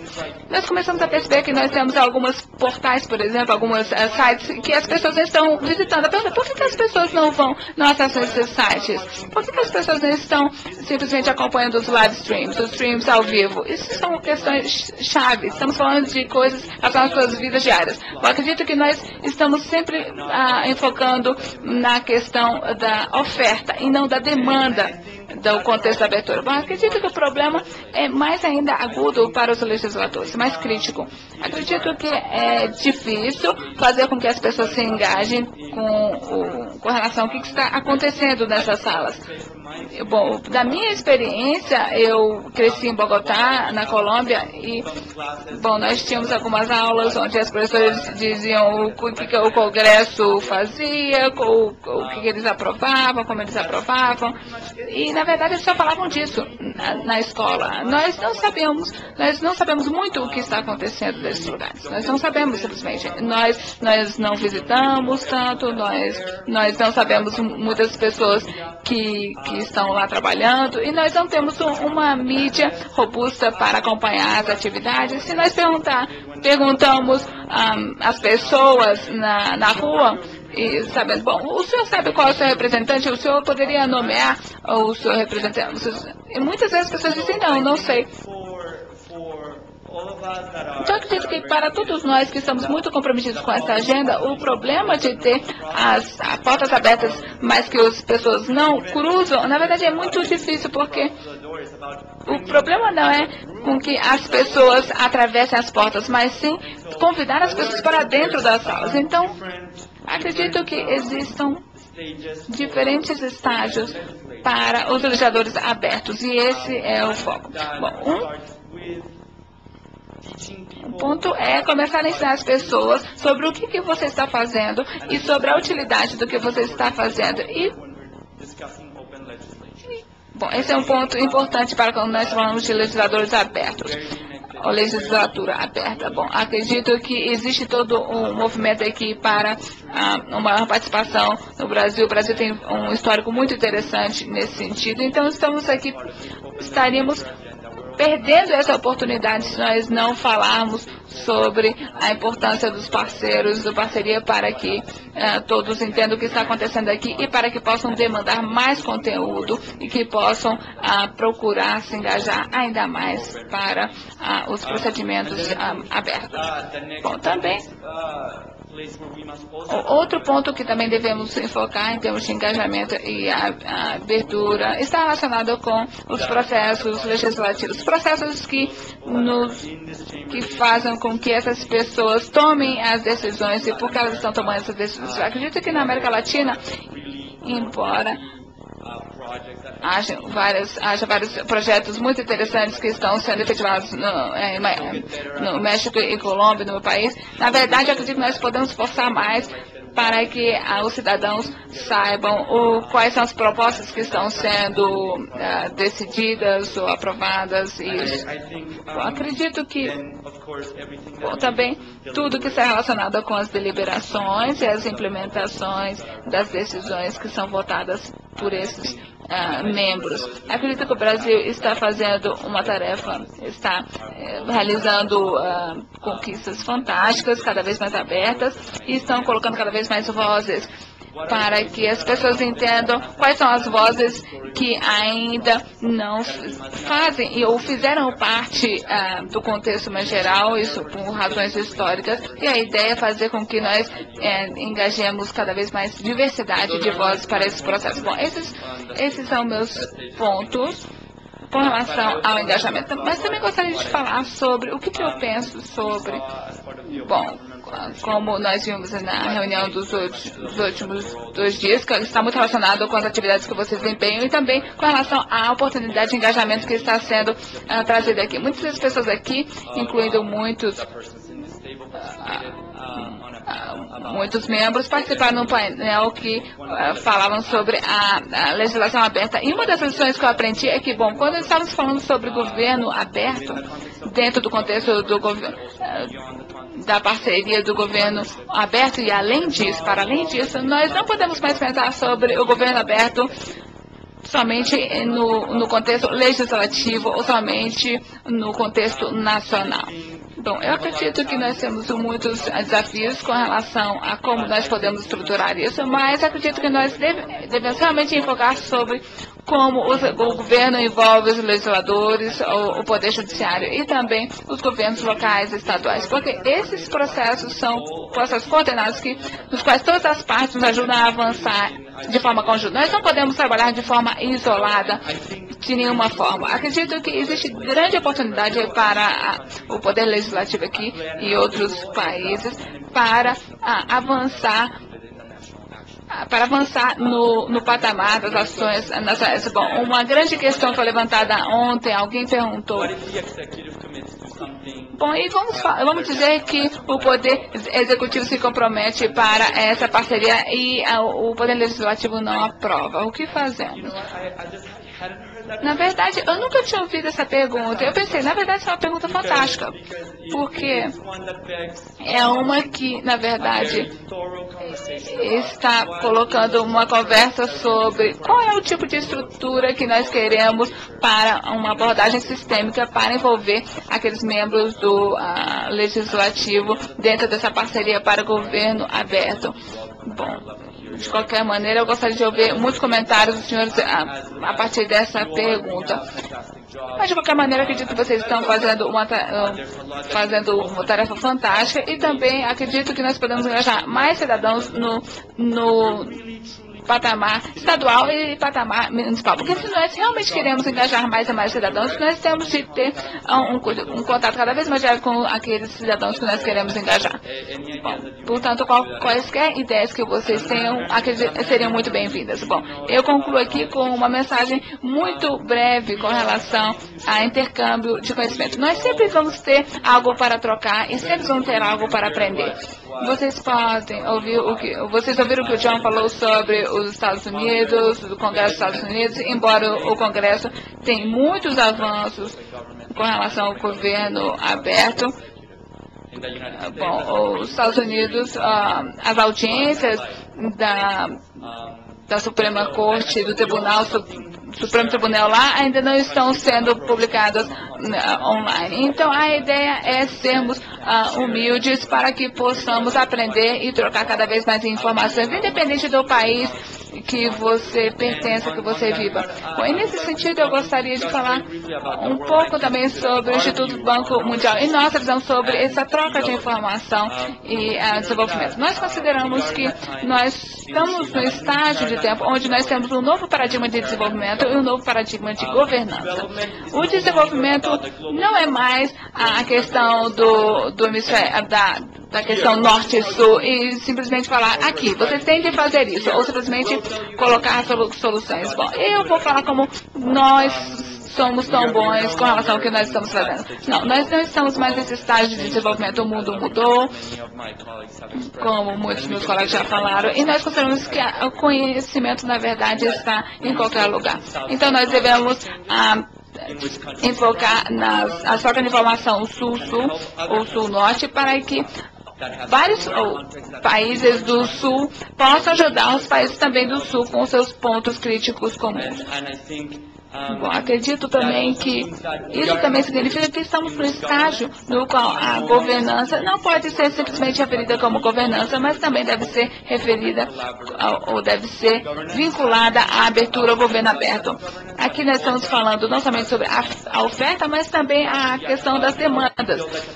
Ou seja, como nós podemos ah, capacitar os cidadãos e como nós podemos capacitar também os membros do parlamento para que eles possam se engajar mutuamente cada vez mais e ter uh, conversas cada vez mais robustas e fluidas. Acredito que o Brasil, nesse modelo de troca de conhecimento, na verdade, desempenha um papel muito crucial. Vocês têm uh, conquistado muito e nós podemos aprender muito de vocês. E também o Brasil pode aprender muito a partir de outros e outros exemplos. E isso me refiro ao que os, o Tiago e Andrew já falaram. Então, a ideia é que o Instituto do Banco do Mundial possa facilitar esse processo de troca de informação. E também a, o engajamento de, da troca de informação dentro da América Latina é crucial nesse sentido. Bom, eu estou muito, eu me sinto muito orgulhoso e contente de falar sobre esse tópico a partir da América Latina, porque acredito que nossa região está avançando muito, está mostrando muita vontade política, muito engajamento dos cidadãos e muito engajamento dos membros do parlamento, para que realmente eu possa ir além da, a, da abertura e ao engajamento realmente robusto. Obrigada. Obrigado, Felipe, representante do Banco Mundial para Assuntos de Transparência Legislativa. Com a palavra, o senhor Alex Howard, que falará para nós sobre transparência legislativa. E desde já agradeço a sua gentileza em atender o nosso convite e nos proporcionar sua presença aqui hoje. Ah, bom dia. Uh, good morning. So, please, uh, por favor, perdoem meu português, eu vou ter que falar em inglês. Bem, então vou dizer que meu, meu, tópico é um pouco mais é, amplo do que a transparência legislativa, porque esse é o futuro do meu trabalho. Mas então vou falar um pouco sobre as questões que vão afetar o legislativo em áreas que eu acredito que seriam realmente dignas para que as pessoas em todos os legislativos ficarem pensando. Então, na verdade, nos Estados Unidos, nossos legisladores nem, nem, nem sempre estão atualizados em termos de transparência, tecnologia para transparência, para que realmente e para se fazer boas políticas seria muito importante realmente entender o que, que vai, o que está acontecendo e o que, que vai acontecer. Então, meu, meu esforço então falar quais são os, as tendências mais amplas que eu tenho visto, aquilo que eu analisei e compartilhar com vocês aquilo que nós temos visto. Então, eu trabalho, como eu te falei, para essa mídia ou rally. Então, para nós, queremos realmente entender o que, que está acontecendo no, no, na, nos alpha gigs, que, que as pessoas que trabalham com tecnologia, é, que estão, na verdade, é, chegando às fronteiras, aos limites. Então, compartilhar com as pessoas quais são as tecnologias que podem, na verdade, ser compartilhadas ao redor do mundo. Então, essa, na verdade, é a minha visão. Então, mais ou menos na década de 90, 20 anos atrás, é, Uh, essa pessoa lançou a, a, a, a, World Wide Web, né, online. Eu sei que está em muitos lugares, a plataforma para vocês para a democracia eletrônica, podemos ver isso é, na internet. Estou estou muito grato de estar aqui, porque o, trabalho, o programa de vocês para democracias eletrônicas é dos mais a, a, avançados. Eu também gostaria de ver o, o Cristiano novamente nessa, é, no Congresso em julho. É, temos muito a aprender com o Brasil. E também é, muito para aprender um o outro. Uma década após o lançamento da internet, são novas possibilidades que só tinham, existiam apenas se, de, se, se, podemos começar a nos verem, baixar vídeos, falar uns com os outros, usando Twitter, é, Facebook, baixar vídeos no YouTube e também outras mídias sociais que estão, é, Tumblr, Google Plus, e todas essas várias maneiras que nós podemos compartilhar em plataformas locais que de, de, de países individuais também têm utilizado, então eles adaptam suas tecnologias também. Agora estamos em um novo momento onde há grandes uh, uh, quantidade de dados, nós podemos então compartilhar o que, nós sabemos uns dos outros. Nós podemos dar é, ideias em termos de clima, é, saúde, educação, pode também dar apoio à ciência e trabalho, e também pode ser suporte para a política. Então, todos esses dados nos dão novas oportunidades e também cria, obviamente, novos riscos. Então nós estamos todos vivendo esse momento, né, nessa, nessa corrente. É um, tem, você tem um novo programa de televisão, foi lançado no Qatar, Al Jazeera, ela tem é, streaming da. É, Skype também envolve a, a, audiência, também envolve também a própria audiência é, nesse, nessa, nessa, toda a formação desse programa de televisão. Então, isso é, é, também o caso para muitos casos de para legisladores também estarem cientes. Então, existe uma conversão ao vivo com, com, acontecendo sobre é, leis, à medida que elas são feitas e são colocadas no papel. Então, é, em ciclos de seis dias, então, talvez seis, seis, seis minutos, você vê políticos realmente respondendo ao vivo as, as perguntas dos seus é, é, cidadãos e também ver outras pessoas participando. Então, fala novamente com os seus cidadãos que eles representam. Então esse é um momento histórico, porque é possível que nós podemos fazer isso, então poder democratizar de fato esses, o, o, acesso ao poder. Então, é, talvez é, nem todos os cidadãos estão tendo essas informações nos países que eles estão. Então, se algum dois, dois representantes do Banco Mundial aqui têm feito realmente, eles têm democratizado seus dados. Então, é, dados abertos, é, ele, os dados abertos, sim. Então, na verdade, é algo muito comum, muito importante, tendência no, na, na, na, mídia, no governo. Então, a ideia é que você abra a informação que você tem, torna ela mais útil. Então, isso tem particularmente útil para o legislativo também. Você também pode colocar que as, legislações tornem mais abertas e os cidadãos possam consumi-las e entender o que o está sendo feito em, em, seu, em seu favor. Então, uh, o Banco Mundial também quer que as pessoas entendam mais como que os, os, a ajuda está sendo enviada para seus países. Então, essas são ferramentas e perspectivas que antigamente só era é, somente para as pessoas de alto escalão, agora para o cidadão comum, no seu é, é, celular ou até mesmo nas, seu, em casa. Então, essas, essa plataforma então, permite que as pessoas sejam, possam ser mais criativas e também fazer coisas como elas não sabiam fazer. Senão não tem nada a ver com os Estados Unidos, Brasil, Reino Unido ou outros países. Na verdade, há muitos lugares onde da, os dados estão sendo dando novas vozes e oportunidades para as pessoas, dando novas chances de é, utilizar esses aplicativos e também outra maneira de ganhar dinheiro, uh, viajar. Então, também na Kenya, eles também uh, já lançaram sua, sua, nova plataforma de dados abertos. Então tem coletado uh, milhares de, de, desenvolvedores que estão fazendo, desenvolvendo aplicativos para falar sobre agricultura, trânsito e outros indicadores econômicos. Então isso é algo que realmente tem acontecido em mais de 30 países ao redor do mundo. No nosso país, na, no Oregon, um dos nossos estados, na, na costa oeste, nós temos cidades que já abriram seus dados e também trabalham com cidadãos para então criar aplicativos inovativos para que eles possam então saber para onde eles vão, onde estão os, os trens, onde as, as, as, os recursos locais e também conectar com as pessoas. Então eles não simplesmente necessários como hackers, muitas pessoas pensam como hackers, na verdade, tem uma conotação ruim, mas eles são é, desenvolvedores de civismo, então eles, na verdade, criam coisas para os cidadãos, os cidadãos utilizarem. Então é uma tendência muito importante. Também podem criar aplicativos que, por exemplo, quando que no próximo ônibus está chegando, então dá a eles, além de dinheiro, também favorece os cidadãos e também ajuda com que eles também trabalhem com setor público e privado, né, de uma maneira que eles possam compartilhar isso daí. Também nosso governo federal está tentando fazer outras partes de toda essa eh, imensa eh, dados a mais aberto. Então, um dos mais importantes é o de saúde. Então, nós estamos colocando os, GP, os dados GPS para que você possa, então, descobrir onde você está, do seu celular, também uh, sobre uh, clima. Agora, nós queremos abrir uh, saúde, os dados sobre saúde, para que eles possam, então, tomar decisões melhores sobre o seu, seu, cuidado com a saúde. Então, colocamos aplicativos e serviços para que eles possam, então, fazer decisões melhores. Então, isso volta, por exemplo, ao conhecimento e entendimento nesses assuntos lá no legislativo. Então, as pessoas que estão fazendo as, as políticas, regulações e as regras, você deveria entender essa tendência. Se eles não entendem isso, vai ser muito difícil realmente fazer uma boa política disso daí. Então, a, os dados abertos na saúde são muito importantes. Então, e cria, obviamente, novas oportunidades para é, empreendedores e, médicos. E também tem esse nome chama é, triagem é, elétrica, então, eletrônica. Então, são dados da, da, indústria, de hospitais, também dos cidadãos, também ajuda as pessoas a entender as clínicas, os lugares onde podem diagnosticar sintomas. Na verdade, até mesmo já pegar qual é o tempo de espera. Então, para consulta, então faz grandes é, mudanças para como as pessoas deverão tomar suas decisões. E também, simplesmente porque o governo abriu seus dados.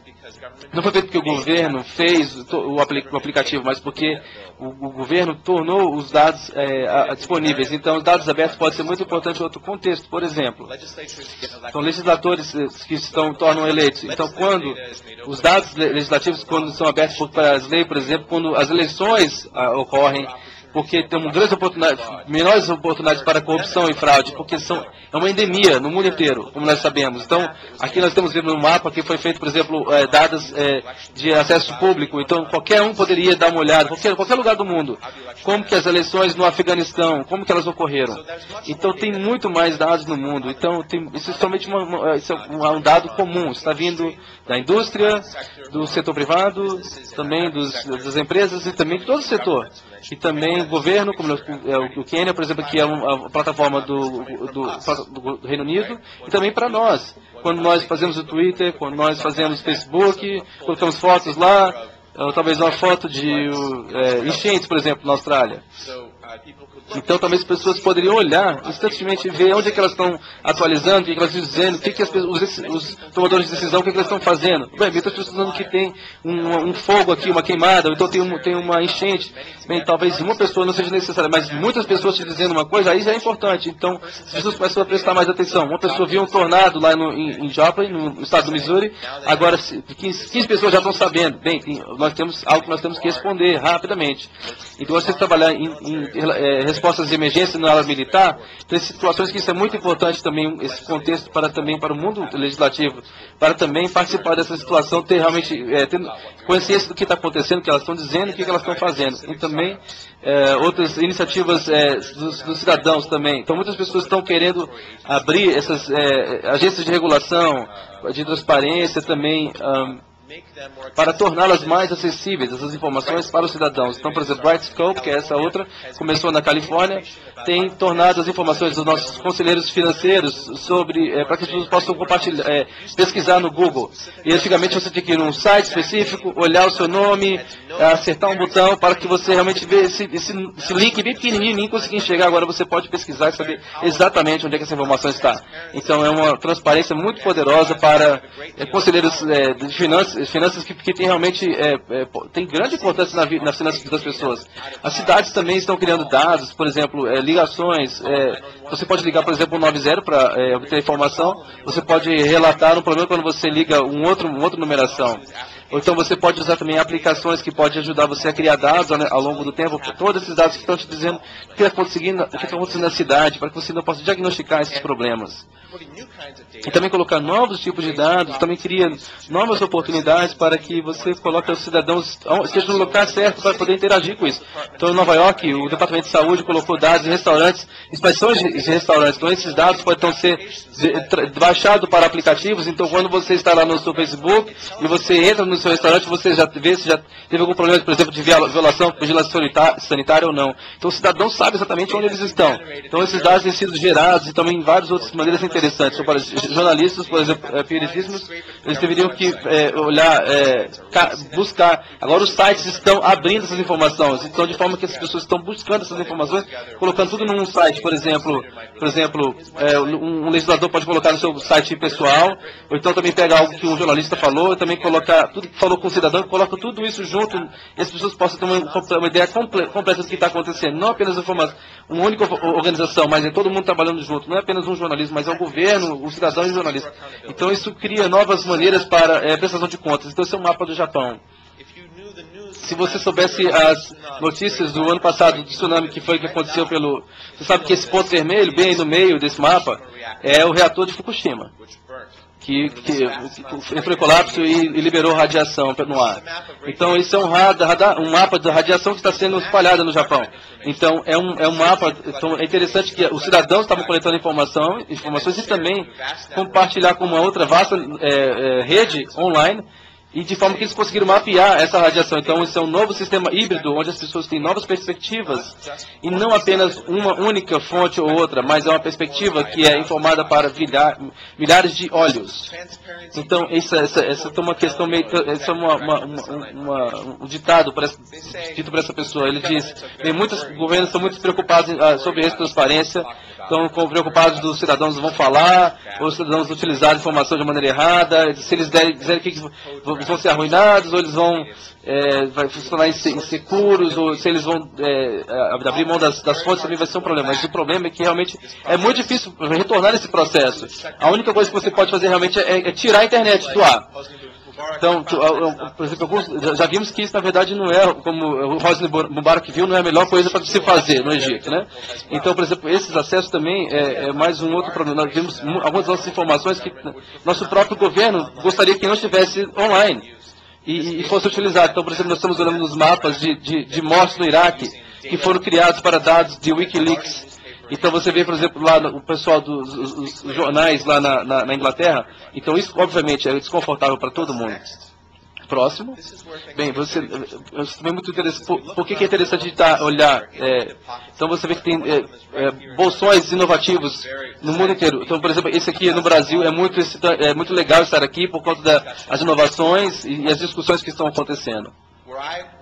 Onde eu moro, lá em Washington DC, lá, e, é, nevou muito, pelo é, é, é, inverno que eu estava lá, era como um apocalipse, porque geralmente não, não, não neva meio metro de neve, mas então nós criamos uma nova oportunidade para o governo fazer algo. Então eles mapearam aonde na cidade uh, onde esses, os, as, as pás estavam, é, é, é, em Boston, é, neva muito. Então, a, as, a, os sindicatos que então é, é, é, que fazem a limpeza da neve jamais deixariam você fazer isso, mas porque na, no, no, em Washington DC eles não tinham essa cultura, então as pessoas sabiam exatamente aonde que, que a, a, neve tinha sido removida ou não. Então nós, então o governo saberia exatamente aonde a neve deveria, aonde tinha sido removida e o trabalho tinha sido feito é, corretamente. Então isso criou uma nova, particularmente porque não havia uma, uma cultura de resistência pela, pela, pelo sindicato, né, e também pelo é, público. Então, esse tipo de informação é, os cidadãos então poderiam ver, então, por exemplo, esse tipo de prestação de contas, como é muito importante nas cidades, então, nessas metrópoles que estão crescendo no mundo inteiro. Então, até 2050, vão ter mais de 30 cidades que vão ter mais de 10 milhões de habitantes. Então, algumas delas vão estar aqui no Brasil, algumas em Índia na China, mas todas elas vão ter um, uma necessidade dos, dos cidadãos ter mais acesso às informações. Eles estão se organizando, estão fazendo mapas e colocando dados, ele, criando dados aí, você mesmo que no Haiti, por exemplo, depois do terremoto. E também você vê que estão crescendo também novas ferramentas. Então eu sei que vocês estão muito informativos, interessados na tecnologia de transparência na, na legislativa, e por isso que eu quero compartilhar isso com vocês. Por exemplo, o nosso é, o, o Senado do, do, do, do é, na, no, a, a é bicameral do, do estadual. Então nós por exemplo, temos problemas com corrupção. Se você, por exemplo, é, políticas locais, vê que os, os, estados, os estados de Nova York têm tido problemas com isso. E realmente a tecnologia era muito antiga. Então eles trouxeram engenheiros muito, muito inteligentes, algum, um trabalhava na NASA, e criaram uma nova plataforma para o Senado. Então, uma, uma, uma plataforma aberta. Então, eles é, arquitetaram é, um, um, software aberto, permitiu as pessoas, então, dar uma olhada é, nos, nos, perfis dos diferentes legisladores, ver o que estava no calendário. Isso deve também, quais, quem estava, é, então, ter mais acesso ao que estava na agenda do, dos, dos, legisladores parlamentares e também criou também informação. Qualquer um poderia usar aquele código né, por, por, pelo, no, no, no, no país por, por muito poucos recursos. Então, o que nós estamos vendo, entretanto, é que é possível para esses desenvolvedores, então, desenvolver esses aplicativos usando os dados que eles mesmos já tornaram disponíveis. Então, o que você está vendo aqui, por exemplo, é um, é um, aplicativo do iPad. Então, por exemplo, alguém criou um aplicativo para o iPad. Oh, desculpa, não, o som não está chegando na cabine. Se alguém puder, acho que ele... Opa, pronto. Bem, era possível porque o sistema foi feito de forma que é, foi feito em cima desse, desse, desse sistema. Então, você pode construir coisas de maneira que pessoas possam agregar. Então, não é. Não, é são plataformas onde você pode tirar é, as dados e pessoas possam então colocar melhores interfaces é, sobre ela. E também tem outras coisas é, interessantes, por, é, é, por exemplo, a, a, confluência de, dos smartphones, pessoas tirando fotos, sendo mais ativas, então é, conhecer coisas melhores do governo, por exemplo, uma foto aqui da Índia, em Andhra Pradesh, onde as pessoas podem tirar fotos das suas é, ruas locais, se elas não foram limpas, eles mandam a, a, foto para o governo local, o governo então descobre quem é que está com o contrato, que deveria ter limpado aquela é, é, a, a, a, rua e depois é, toma decisões a respeito disso. Então, esses são relatórios, são denúncias né, dos próprios cidadãos. Então, é, de maneira, inclusive, à medida que os, os, esses smartphones se tornam mais disponíveis, e também tem outras maneiras como você pode é, usar esse, o Shahiri também, é uma outra maneira de também fazer denunciar o que está acontecendo. E talvez no futuro haverá novas oportunidades. Então esse é um novo aplicativo que é muito interessante, a ideia é que você pode então olhar no seu no mundo local e ver onde há projetos, e você pode então dar informações de volta para o seu governo local, nacional, e, e dizer, bem, isso está trabalhando legal, o outro, na verdade, está aqui, não aconteceu nada.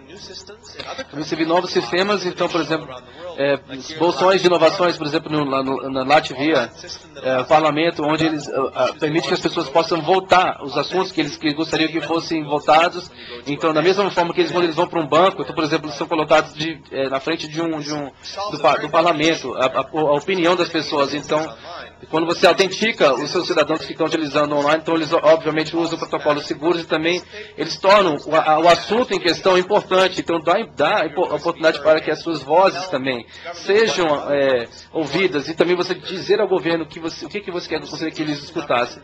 Então você vê novas oportunidades agora para regular de uma maneira diferente. Então isso é uma, foto de São Francisco, nos, os parquímetros que são colocados, é, depois tem os, os preços também dos parquímetros aumentaram muito. Então, vamos ver se isso vai também acontecer né, com, com os demais. Aqui também, esse sistema também cria muita privacidade. Então, se você viu o, o, o, é, Big Brother do, do, do, George Orwell, então as câmaras que estão vigilando, é, vigiando todo mundo, então você, qualquer lugar que você vai na cidade capital, você tem, tem é muito, muitas câmeras me filmando. Então, agora a realidade não é tanto que o governo está nos, nos vigiando, mas o fato é que nós estamos vendo um ou outro aqui com os nossos celulares. Então isso cria um, um sempre um problemas de privacidade sem precedentes. Então se você eu você talvez é, a, a, as mudanças, então quais são os riscos e a, os benefícios dessas novas tecnologias. Então transparência na verdade ela não é simplesmente ela, ela não é um fim em si mesmo. Que aonde que ela leva? Bem, ela você, você disponibiliza esses dados, você cria novos é, é, obje, objetivos. Então as pessoas que tinham acesso antigamente à internet, agora todo mundo, agora estamos dizendo pessoas que têm acesso, aos smartphones, agora pergunta, temos habilidade para pagar esses planos de dados? Eu tenho que viajar aqui no país, eu tenho que trabalhar mais dados para, por exemplo, um, um, um plano de roaming. Eu, eu, eu, tô, eu tenho, sou, sou, feliz de ter, um, poder fazer isso, mas um bilhão de pessoas não podem fazer isso. Então, quando olhamos esses novos sistemas para o governo, você pensa, então, liberar esses dados para os legislativos, tem que pensar aqueles que é, estão entre você, o valor da sociedade, aqueles que vocês tra tratam, aqueles que têm menos poder, menos... então você tem que, na verdade, não é apenas empoderá-los, mas também ouvir a voz dessas pessoas. Então, quando você vê o mundo à noite, você sabe que, você sabe quem tem luz e quem não tem.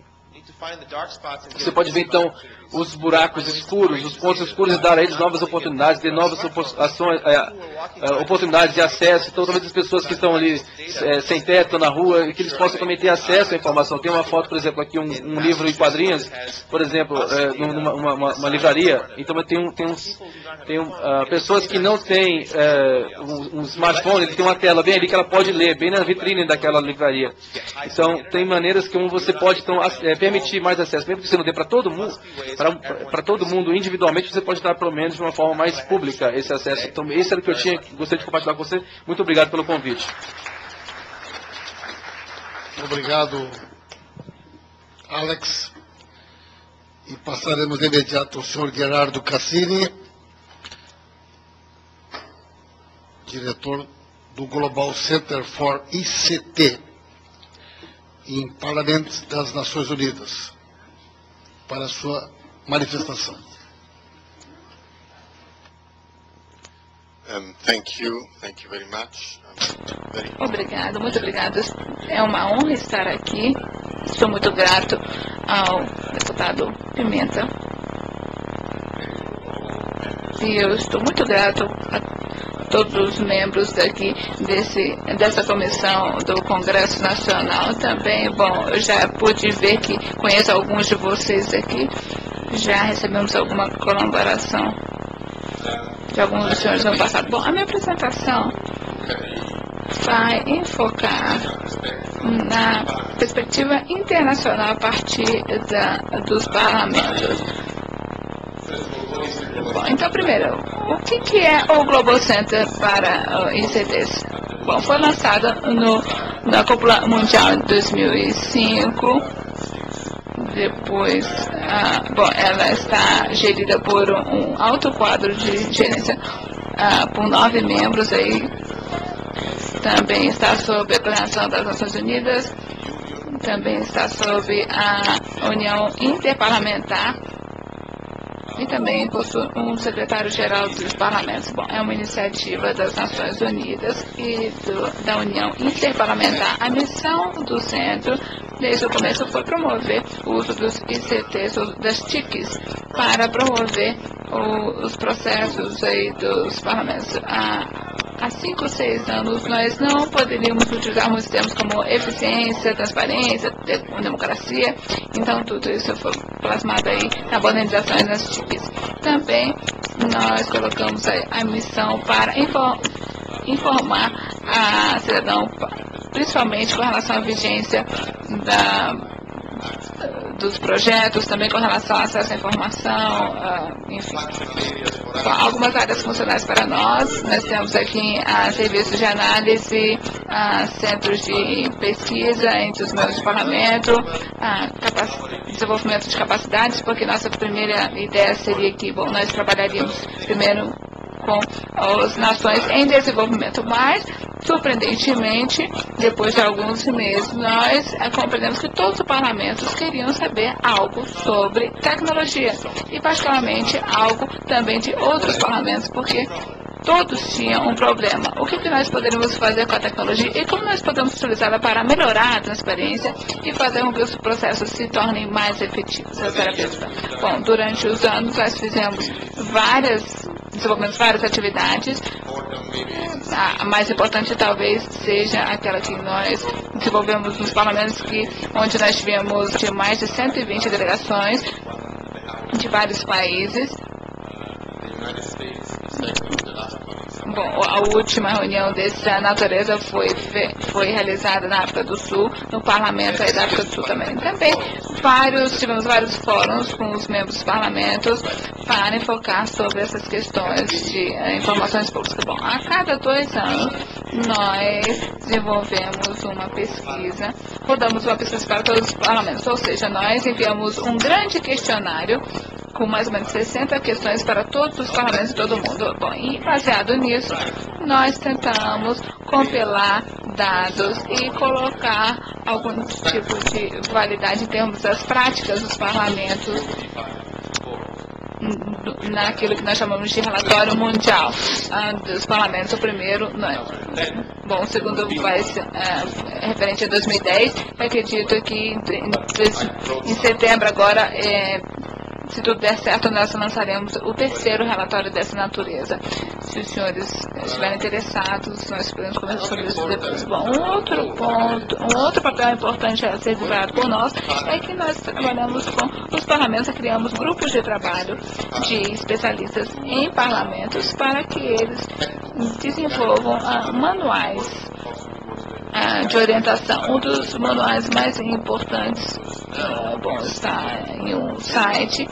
E isso, bom, nós vemos a importância porque vemos que muitos parlamentos estão utilizando esse site para, pelo menos, uh, revisar o que eles têm nos seus próprios sites. Bom, isso foi revisado em 2009 e já está, uh, não está tão atualizado simplesmente porque a tecnologia aí já avançou hum, já percorreu uma rápida evolução. Nós fazemos treinamentos também, nós fazemos avaliações. De enfatizar ou qual é a dimensão da nossa, do nosso alcance. Bom, o mapa aqui mostra, o primeiro mapa aqui em verde mostra um pouco antes Bom, esses são os países aqui em verde que participaram, é, bom, é, os seus parlamentos participaram em um ou mais de nossas atividades. Então, de fato, nós tivemos muitos contatos com a maior parte dos parlamentos de todo o mundo. Existem Existem 177 sistemas parlamentares no mundo hoje e 200 Aí 144 participaram em, em uma ou mais. Ah, 25 nunca participaram. Bom, eu não vou mencioná-los, obviamente, mas acredito que vocês imaginam quais sejam. Bom, alguns participaram muitas vezes e eu posso dizer que o Brasil tem sido um grande parceiro conosco, também a Câmara e o Senado têm participado muito e nos têm oferecido muita informação e promovido muita troca de informação. Estamos muito gratos por isso. Bom, os parlamentos que receberam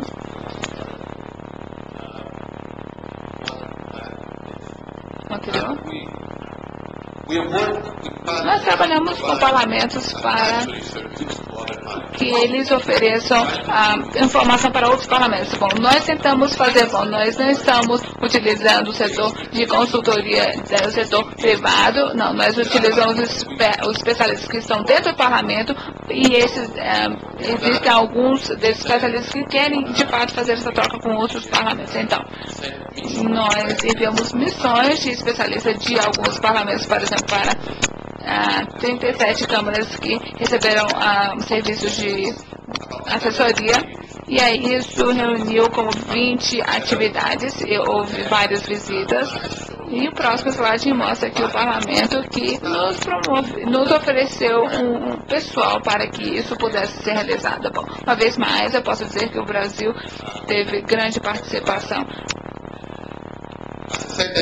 Como eu disse, a cada dois anos nós rodamos uma pesquisa. A primeira foi em 2007 e eu ainda me lembro as pessoas nos dizendo os parlamentos não vão responder o questionário de, na verdade, não 60, mas 160 perguntas sobre como que eles usam tecnologia. Bom, esse foi o primeiro impacto.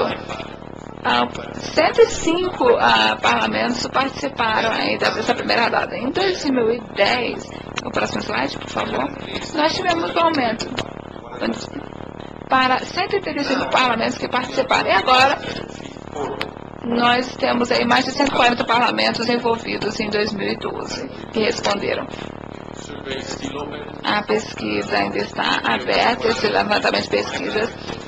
Bom, o meu objetivo era que alcançássemos pelo menos 150 parlamentos. Então isso nos diz quanto que os parlamentos querem saber sobre outros parlamentos em termos das opções tecnológicas em várias áreas, porque nós cobrimos questões das infraestruturas, mas também a questão da participação, o uso dos, dos, padrões de documentos abertos, o uso de sistemas para o fluxo de trabalho para os parlamentos, que isso foi apresentado pelo menos pelo Senado, ah, do, pelas autoridades do Estado de Nova York. Bom, aqui nós temos alguns dados de 2010 e espero que no final do, do ano nós possamos aí oferecer algumas dados sobre 2012. Bom, o, a confiança do parlamento está em declínio e isso à medida que avança a tecnologia. Isso está impactando na demanda crescente cada vez mais ah, dos cidadãos.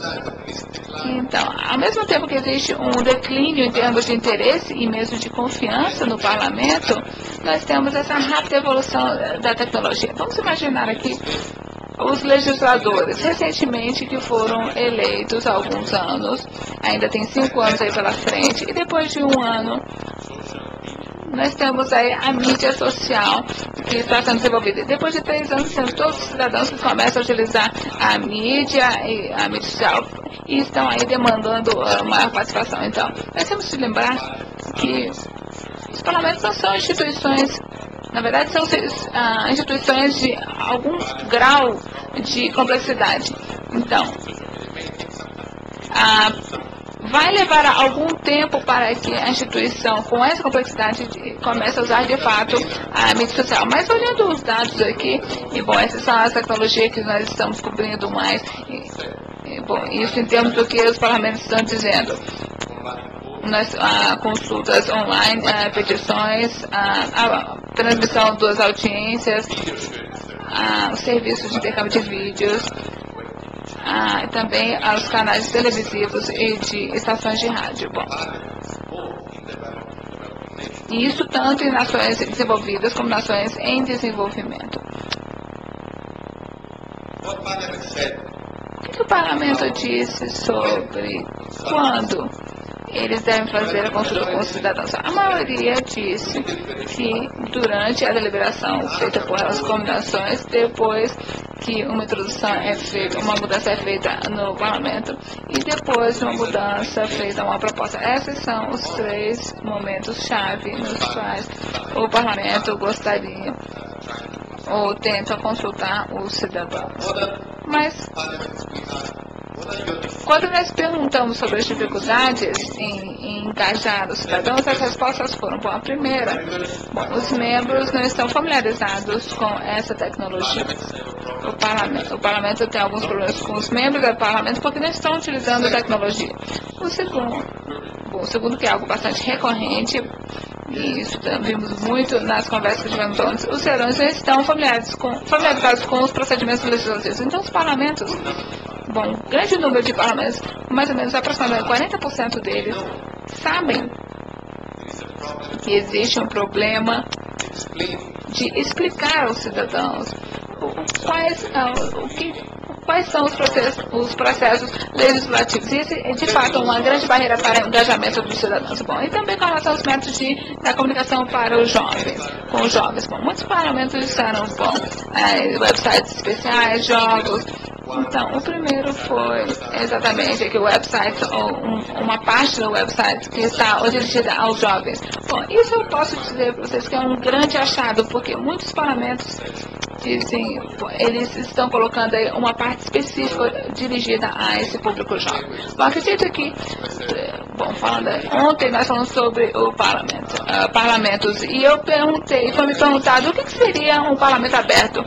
Então, bom, eu me referi, fiz menção aos valores democráticos da União Interparlamentar. Então, estamos falando aqui a transparência, que essa está relacionada com a mídia, e também transparente também com a sua base. Deve ser acessível, que envolve o público, incluindo associações movimentos da sociedade civil dentro do parlamento. Também é confiável. Os membros do parlamento devem ser confiáveis em termos da sua integridade e competência. E também é efetiva em, em estar de acordo com os valores democráticos e facilita a avaliação do desempenho das, dos, das funções do parlamento e dos legislativos.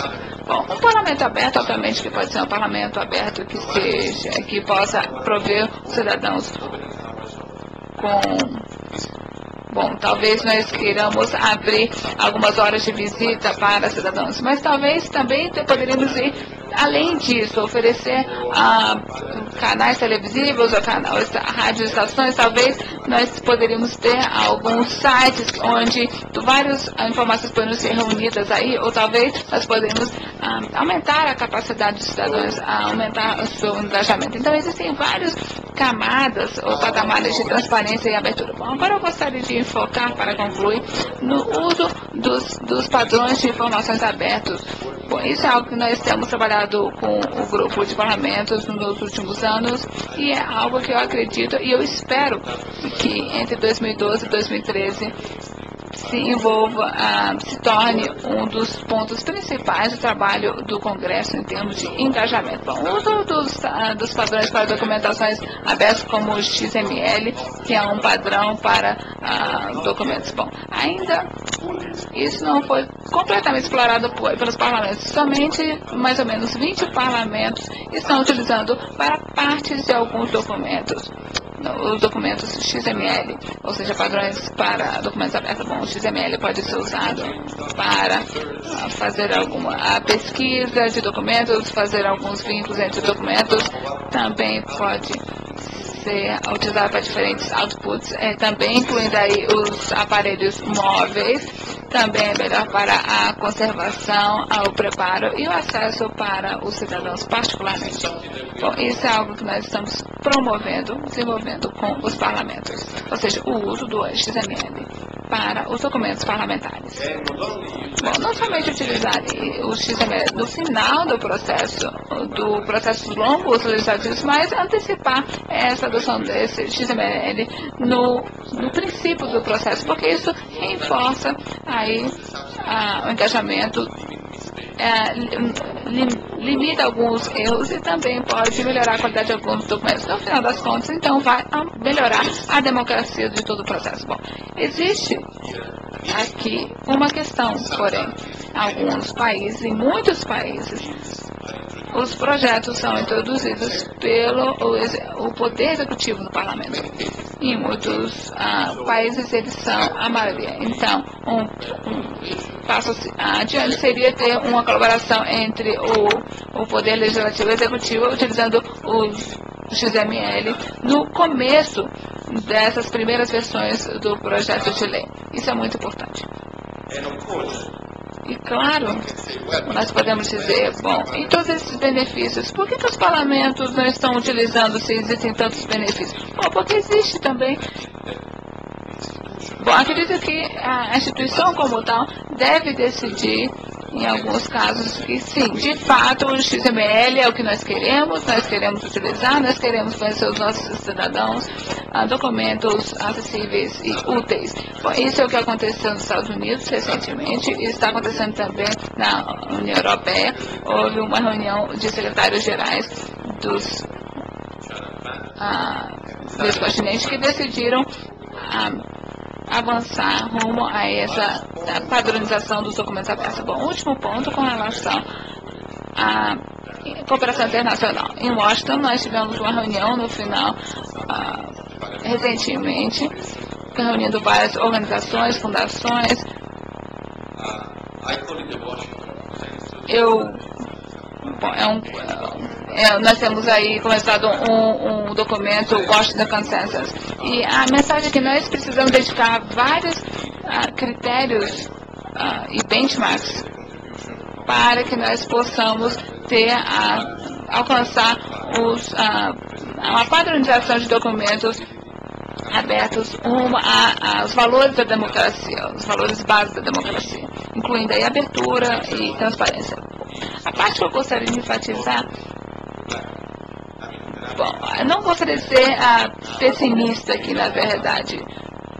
Já existe, por exemplo, alguns parlamentos que estão utilizando sites, ou começaram a utilizar um esquema XML que está sendo uh, utilizado como esquema geral, então eles querem utilizar uh, esquemas que facilitam a interoperabilidade. Isso está acontecendo com a Suíça, a Itália, a Dinamarca e vários outros outros países.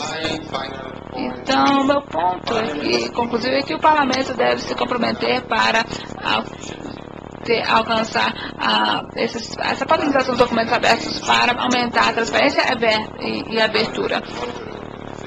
Também deve, deve procurar a, melhorar o, o engajamento e ativismo. Também deve participar nas trocas é, de informação no, no patamar local regional para,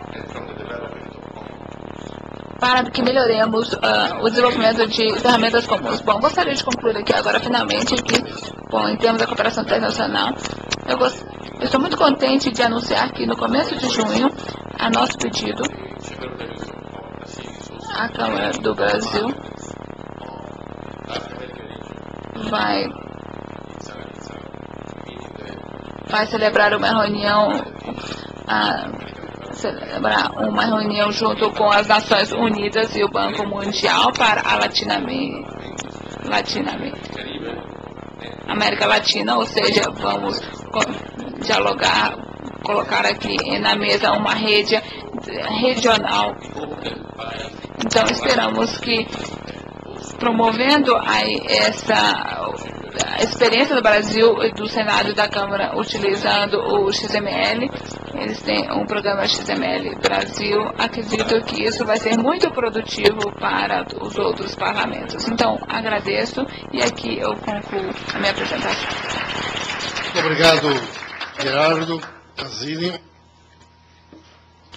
Quero registrar aqui a presença do deputado Félix Mendonça, parlamentar do Estado da Bahia, e também o deputado Osmar Serraglio, deputado do estado do Paraná. Nosso tempo está meio adiantado, eu quero ver se existe por parte da plateia o interesse de algum questionamento, alguma pergunta, para que depois a gente possa rapidamente ouvir a manifestação de conclusão de cada um dos nossos convidados. A palavra está à disposição, nosso amigo Paulo, que é do nosso Centro de Informática aqui da Câmara dos Deputados. Obrigado, deputado. É, meu nome é Paulo Henrique, eu sou servidor aqui da Câmara. É, eu, eu, tenho uma preocupação especial com. O, eu tive no, no OGP também, é, isso também foi tratado e alguns de vocês abordaram isso, que é sobre o lado consumidor.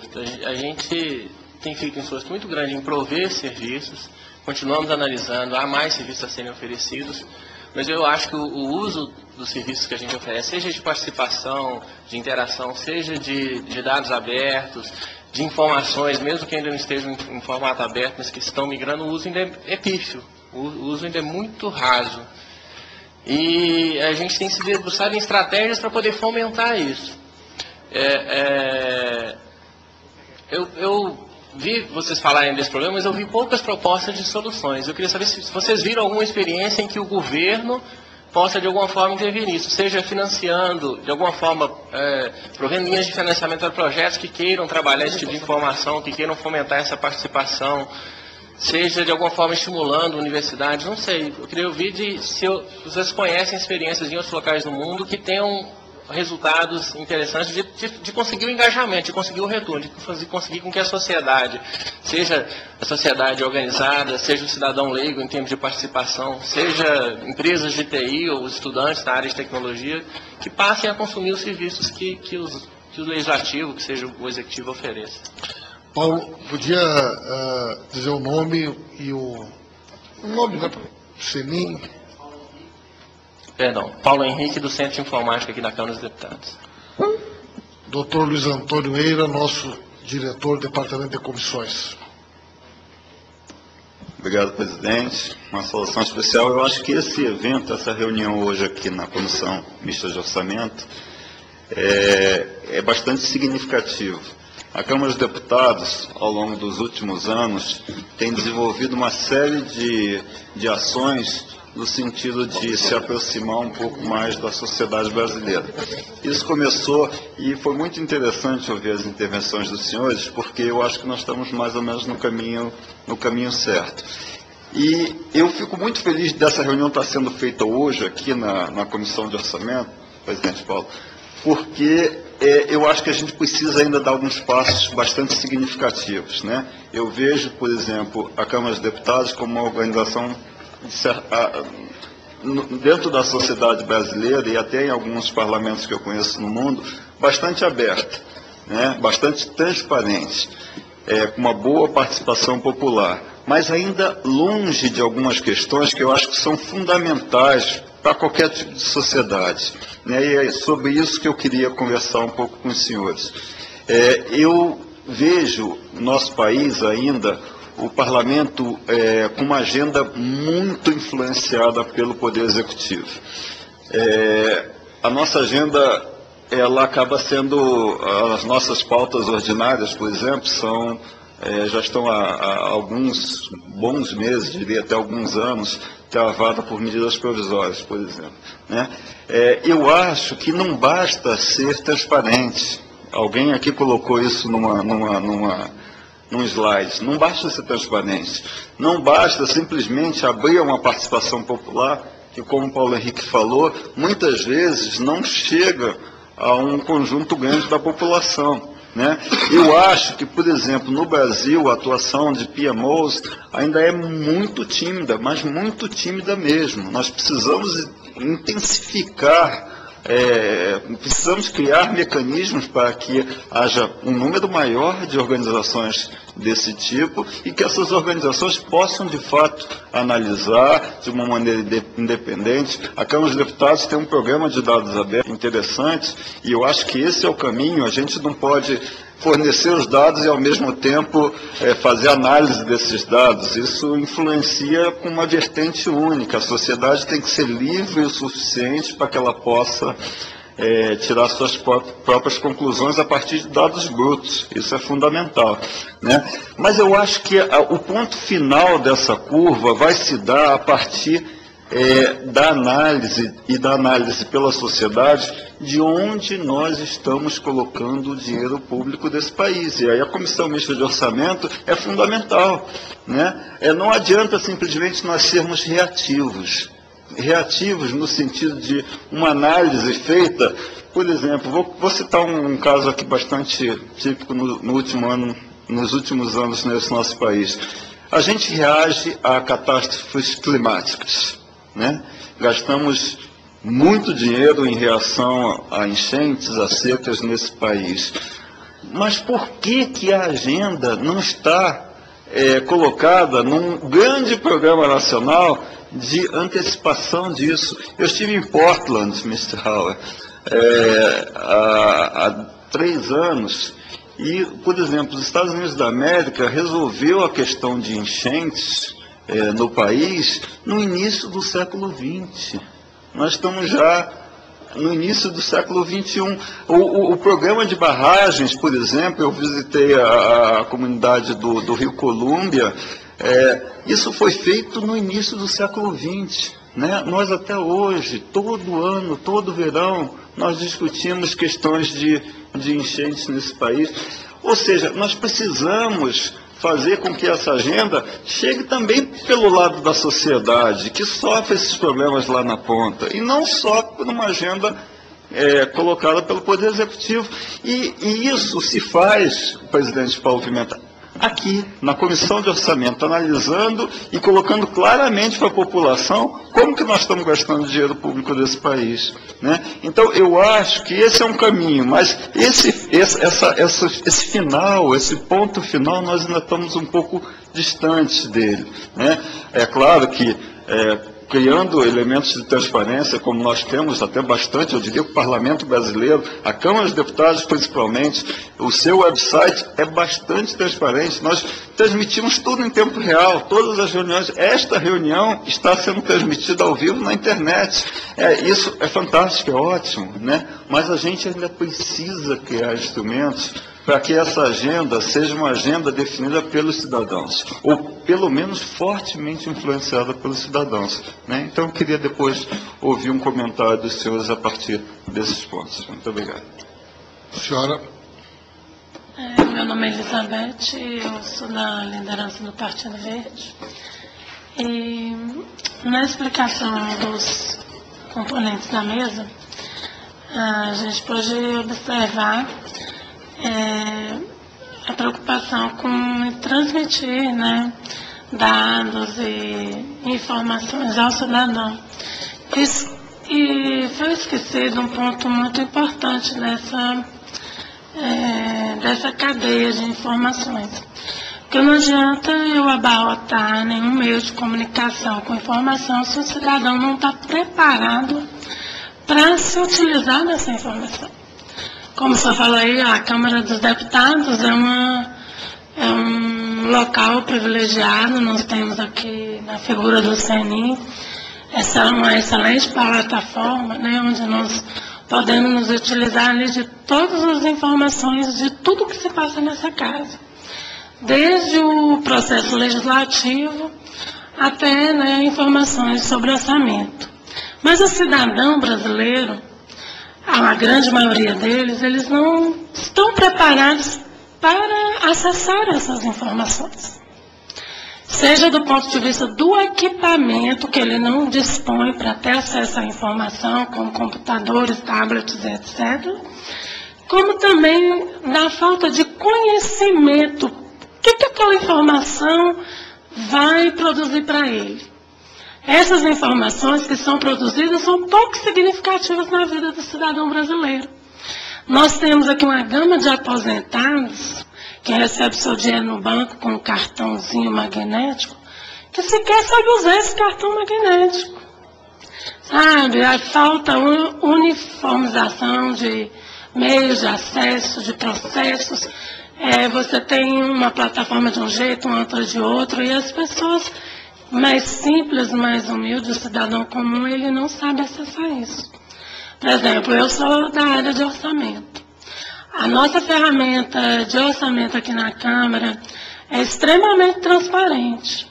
Tem relatórios belíssimos, mas o cidadão comum não vai entender aquele relatório.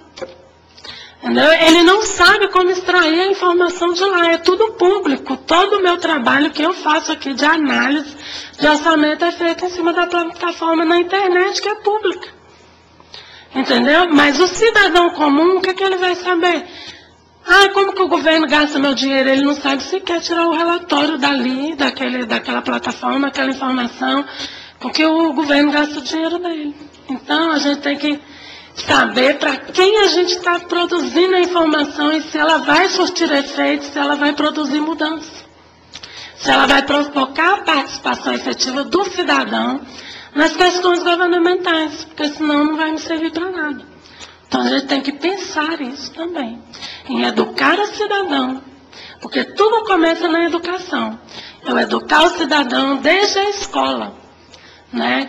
ensiná-lo como como acompanhar as questões governamentais, sobre o recurso que é aplicado na educação, na saúde, na segurança, na, na, na, nos programas sociais de combate à fome. Né? Então, assim, é, e ver uma forma efetiva do cidadão aprender a participar, porque não adianta só eu disponibilizar a informação e o cidadão não saber o que fazer com ela. Então, eu acho que que a transparência sem uma educação para a participação não vai resolver nada. É, transparente nós somos, eu acho que nós somos principalmente essa casa, é, no Brasil, culpa-se muito o parlamento é, de, de não ser transparente, mas essa casa é uma das mais transparentes e abertas ao cidadão no Brasil ao Poder Legislativo. Muito obrigado, Elizabeth. A Cássia, a última escrita. Bom, é, primeiro quero parabenizar o deputado Paulo Pimenta por estar abrindo esse espaço da Comissão de Orçamento, isso é muito importante para a casa, parabenizar essa discussão. É, eu, Cássia Botelho, atualmente estou na direção do Departamento de Taquigrafia, que é responsável pela, pela entrega de todo, todos os discursos, tudo que é falado né, no Parlamento.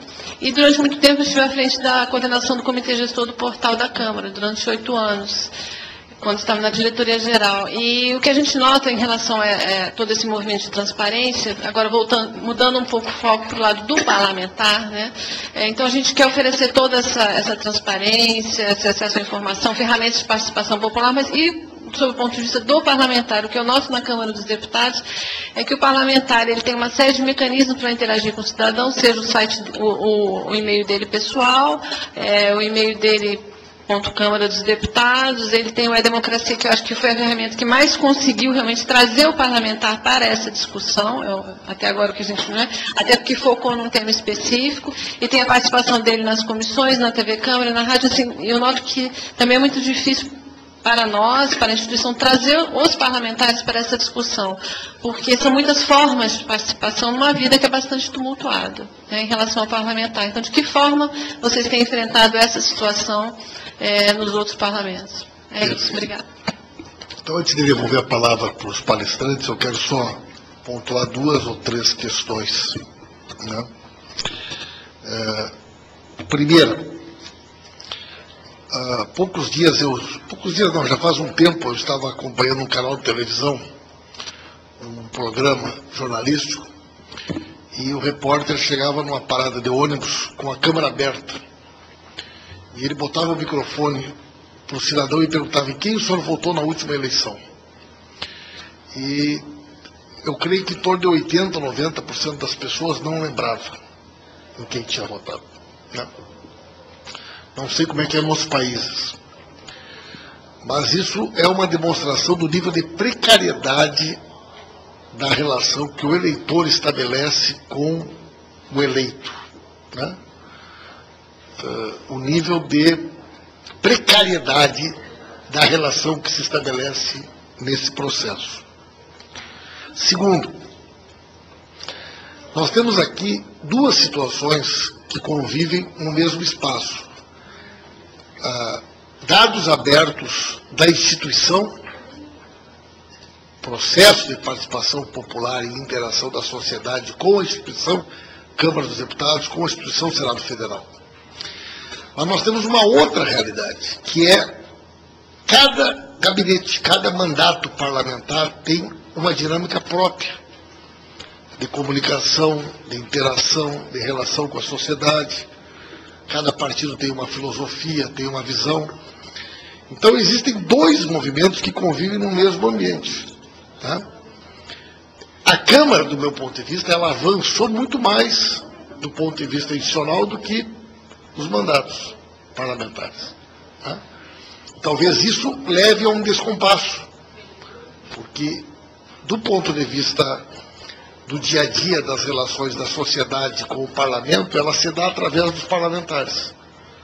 Então nós temos que encontrar um ponto de equilíbrio. Né? Já conversamos um pouco sobre isso em outras oportunidades. Né?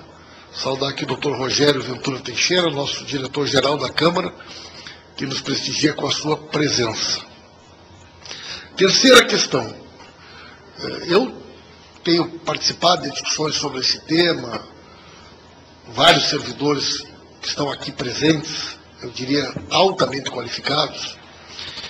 E, por exemplo, nós temos projetos muito interessantes, como o projeto Cidadão Digital, o projeto Pauta Digital, que são projetos que eu apresentei, mas são frutos de muito debate. Que eles podem significar uma alteração substantiva da relação da sociedade com o parlamento, na medida que o cidadão entender que a participação dele pode definir pauta, hierarquizar projetos. E onde é que nós esbarramos hoje? É, eu diria assim que ele é um discurso frágil, mas do ponto de vista conservador ele funciona. É, como é que eu legitimo a participação do cidadão pela internet? Tá? É, a pergunta primária sempre é, é, ela é a seguinte, olha, mas quem é que me garante que esse cidadão que manifestou seu apoio a um projeto, a uma iniciativa, é ele mesmo? Né? E o processo de certificação eletrônica, ele é muito caro no Brasil, né? na assinatura digital. Então nós estamos procurando encontrar um mecanismo que nos dê legitimidade para a iniciativa, e consiga responder a esse questionamento. Que ele é frágil, porque ninguém garante também que aquela pessoa que assinou um papel é ela. Mas a verdade é que é, esse questionamento acaba né, fragilizando, digamos, alguns avanços quando a gente busca fazê-los avançar. Né? E por fim, é uma coisa que eu conversei com o Tiago, que eu acho que eu, eu insisto nesse tema bastante, que é a história do 0800. Né? Uh, quer dizer, a Câmara tem um serviço de 0800, já teve nos últimos anos mais de 4 milhões de ligações. E quem é o público que liga para o 0800? Muitas vezes é a pessoa que não tem acesso à internet. Né? São setores da sociedade que não usam né, os nossos portais. E Dessas 4 milhões de ligações, mais de duas, mais de 2 milhões de ligações foram para o mesmo projeto, que é pedindo que a Câmara coloque em votação o projeto de lei que acaba com a tarifa básica da telefonia fixa. Então, o projeto é de 2001. Se nós não resolvermos isso e criarmos um mecanismo que, de alguma forma, a participação da população possa ter alguma interferência na definição dos projetos, né, eu, não, eu não estou nem entrando no aspecto das medidas provisórias, que é muito mais complexo. O cidadão ele vai participar uma vez, duas vezes, na terceira ele não vai participar mais. Então, ou nós criamos um mecanismo real, onde de alguma forma, alguns projetos durante o ano sejam fruto e resultado da efetiva participação da sociedade, ou esse processo não vai avançar. Porque o nosso processo legislativo tem uma característica, para concluir, eu não quero me estender, que ele é perverso no seguinte sentido. Um projeto de lei ele pode tramitar, ser aprovado em todas as comissões, por unanimidade, e nunca ir ao plenário. Porque nada garante que um projeto aprovado nas comissões, um dia ele será colocado na ordem do dia. Porque depois de ele ser aprovado em tudo, ele precisa passar por um acordo do Colégio dos Líderes com o presidente, que vai definir a pauta. E mais do que isso, se houver um fato de repercussão nacional que exija uma resposta pronta por parte do parlamento, pode ter um projeto que está numa primeira comissão há uma semana e ele vai ser levado diretamente ao plenário e em 24 horas ele pode ser votado. Então, não há um, um equilíbrio do ponto de vista legislativo que diga o seguinte, olha, a participação social, a participação popular, efetivamente ela vai interferir na definição da pauta e da hierarquia daquilo que será votado. Quero me desculpar por ter falado um pouquinho mais, mas devolvo a palavra pela ordem inversa, conforme aprendi ontem com o senhor Guerrero do Casini, e peço que vocês possam concluir a sua participação de alguma forma comentando alguma coisa disso que a gente colocou. Né? A palavra está à disposição.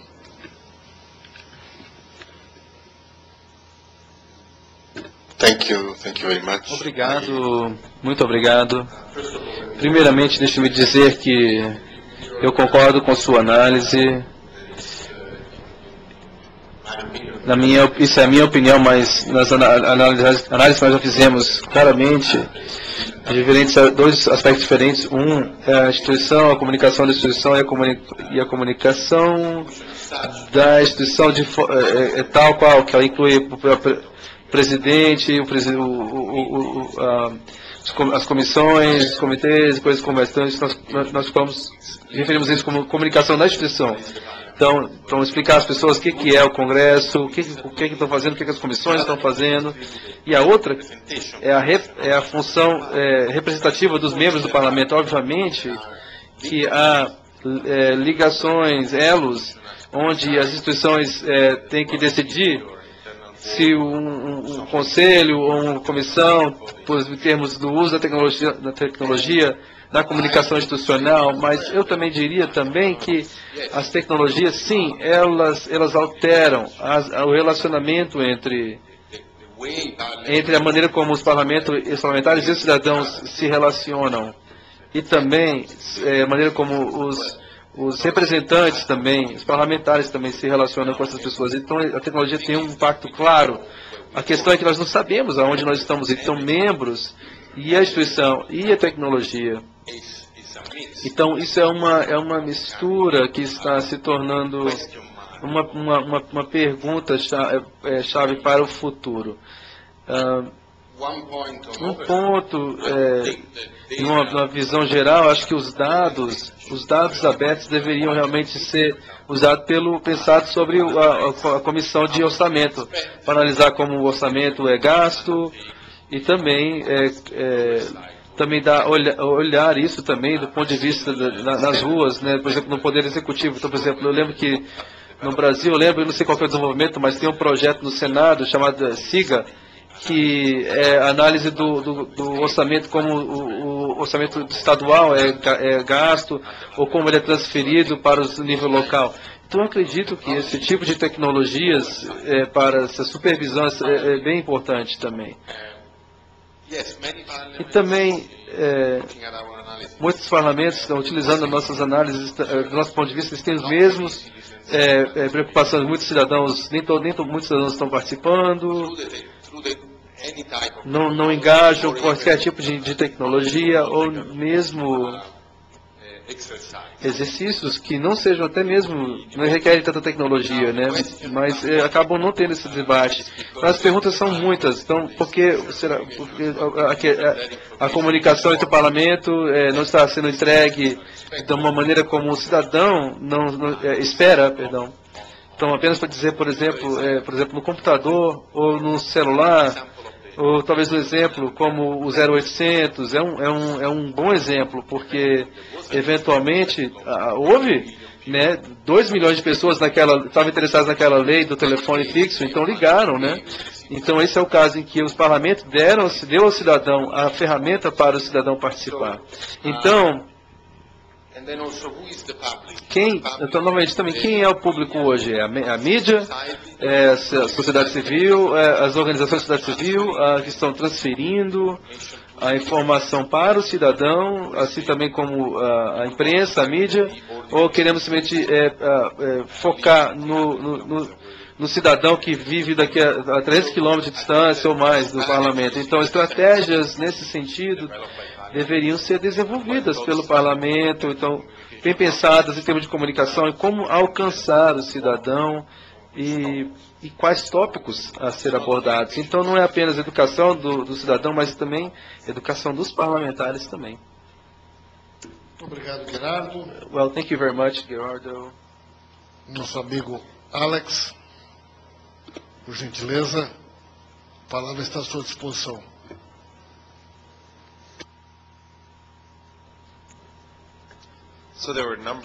Bem, tem realmente várias perguntas e eu devo realmente me, me, me, pedir desculpa porque eu realmente não entendo o português tão bem como eu deveria. É uma ótima, linda língua, eu gostaria, eu gostaria de entender e compreender melhor. Duas, duas questões aqui separadas. Primeiro, talvez, aliás, três. Então, participação, eu vou, eu vou deixar meus outros colegas aqui que já estudaram isso, estudam isso né, com mais tempo, tem muitas pesquisas que foram feitas. Hum, aumentar a participação, ela sim leva a mais é, envolvimento da cidadania. Então, como você engaja isso com a tecnologia? Então, a questão é essa que está sendo abordada pela pesquisa. Então, incluindo maneiras hum, para não é, favorecer desproporcionalmente aqueles que têm mais acesso. Então, todos isso, por exemplo, em termos de não apenas acesso aos dados, mas também, também acesso simples a, aos recursos e às fontes. Então, o ponto que você fez sobre é, cidadãos normais, é, comuns, né, eu acho que realmente é muito importante. É algo que eu escrevo muito, eu penso muito na minha mãe, na minha, minha avó. O quanto que elas vão entender. O, que, quanto que elas precisam entender quando elas realmente é, usam determinados serviços, o quanto que elas querem entender. Então isso nos leva então à pergunta que você fez sobre aonde que os cidadãos né, vão, vão engajar, né, vão eu acho que muitas pessoas não vão, é, elas não vão vir para um, para um, para um não vão ir para um, um, site. Eu concordo que ele pediu deixa a porta aberta, mas ninguém passa, ninguém utiliza. Mas a pergunta que o, o governo está realmente aprendendo é que nós tem, eles têm que ir aonde os cidadãos já estão e falar no seu, na sua linguagem. Então, isso cria desafios para o governo. Desafios em termos de usar sistemas que eles talvez nunca nem, nem ainda fizeram, nem construíram. Então, desafios em termos de escutá-los. Então, se você quer falar com os cidadãos, quando eles vão falar com você em grandes quantidades, como que você lida com isso? Então, no nosso país, então você vê empreendedores construindo novas metodologias para cotelar ações coletivas. Então, pessoas falam como uma voz única ao nosso Congresso. Então, nós temos um, um evento sem precedentes em Januário, onde milhões de pessoas ligando para o Congresso é, sobre sua preocupação com a, a maneira como nós é, regulamos a internet. Então, e o problema, o Congresso ficou sobrecarregado e o site caiu, porque por, devido às ligações os telefones estavam muito ocupados também, então porque as pessoas estavam muito interessadas em engajar. Então isso são perguntas muito importantes e novamente é muito muito muito legal estar aqui numa, numa casa onde essas perguntas podem ser levantadas. Isso não é o que acontece em todos os países e nós sabemos disso.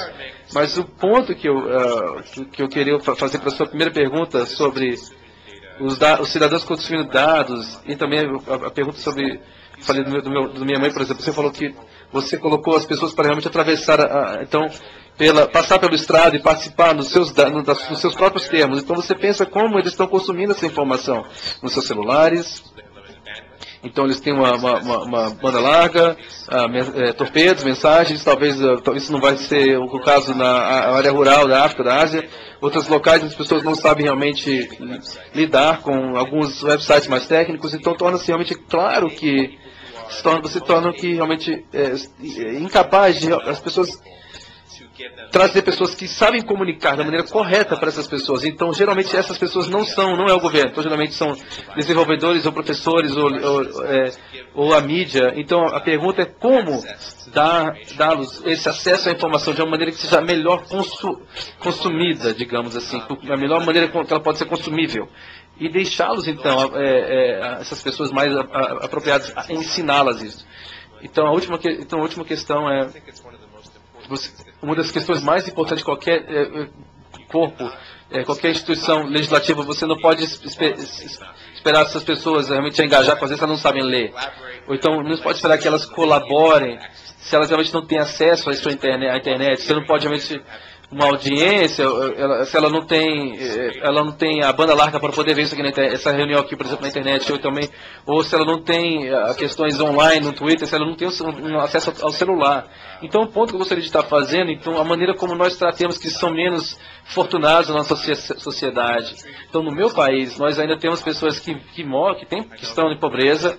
Eu sei porque quando eu visitei o Brasil 10 anos atrás, fui para o Rio, São Paulo, as pessoas moravam em, em pobreza extrema. E é o país deles também, e eles deveriam ter uma oportunidade de participar. Então, há outras maneiras como as pessoas estão pensando sobre isso. Então, nós temos um, um, é, é, representantes da sociedade civil, é, falando sobre murais né, de dados. Então, então, eles vão para uma vila, então eles, desenham o orçamento na parede. Então, em vez de ter ali uma plataforma, tecnologia, eles fazem dessa forma. Então, a, a audiências sociais das pessoas poderiam estar lá, falar com seus é, é, é, é representantes ali. Então, elas estão ouvindo ali meio, oralmente, né, uma forma até inclusive antiga de comunicação. Então, a tecnologia carrega a conversação, traz novas tecnologias, novas possibilidades, permite ao governo também encontrar as pessoas a compartilhar essa informação, chegar até as pessoas. Quando você abre então as, as, as legislações em, em, em, plataformas abertas, permite que novas interfaces sejam abertas, elas possam comparar de um legislativo para o outro, ver qual que o seu legislador falou antes de, da, da, lei ser alterada. Então esse é um grande sonho nos Estados Unidos, nós sermos capazes, quando que uma mudança foi feita na lei e quem fez. Porque essas mudanças elas são marcadas na lei. Então nós não temos ainda essa, essa, essa estamos apenas sonhando isso, mas para algumas pessoas estão ainda preocupadas em comida e água e emprego e também saber ter o dinheiro para pagar o ônibus, enfim. Mas essas são questões que eu acredito que se as pessoas que estivessem realmente é, os, os, os, que fazem a lei, mantesse isso na lei, elas teriam mais condição de incluir essas pessoas. Eu estou feliz que você trouxe esses assuntos, porque é, é, essa, nós somos as pessoas mais interessadas em ouvir isso que você falou. Muito obrigado, Alex. Nosso amigo Felipe. Thank you. Um, thank you very much for... Muito obrigado por, pelos comentários e perguntas. Eu fiquei muito contente de ouvir esses comentários e perguntas, porque o fato de vocês estarem perguntando oh, questões sobre participação, isso, isso significa que vocês estão pensando realmente sobre o assunto e também mostra o, o grau de amadurecimento que vocês têm nesse sentido. Eu acredito que o movimento de, governo, de governos abertos, de alguma maneira, conseguiu entender que a transparente não se não é não corresponde à participação especificamente. E estamos começando a nos a despertar para isso. Acredito que existe um grande risco para se continuarmos a avançar ah, rumo à transparência sem que nós também tenhamos aí a participação vinculada a isso, perdendo legitimidade nisso. E é por isso, daí a importância do processo mais robusto de participação. Bom, aqui coloco umas respostas às perguntas levantadas de uma maneira que, bom, a partir da minha perspectiva do Instituto Banco Mundial, em termos de inequidade, equidade a, e desenvolvimento de capacidades em contextos frágeis, digamos assim, bom, ou desfavorecidos. Bom, com relação ao quem é o seu público, acredito que esse é o ponto crítico para a construção de qualquer estratégia que queira alcançar essa a população específica. Essa é as teorias de comunicação mais básica é, diz que nós, se nós temos uma informação, nós temos que perguntar até onde que nós queremos levar essa informação. Então, a pergunta é, para onde que vai essa informação? Essa é a, a pergunta base. Para mim, a resposta é dual. Nós temos de construir as capacidades onde existem algumas lacunas e onde essas lacunas não sejam tão grandes. Então, acredito que existe uma grande potencial para construir essa capacidade para melhorar a participação com universidades e com a mídia.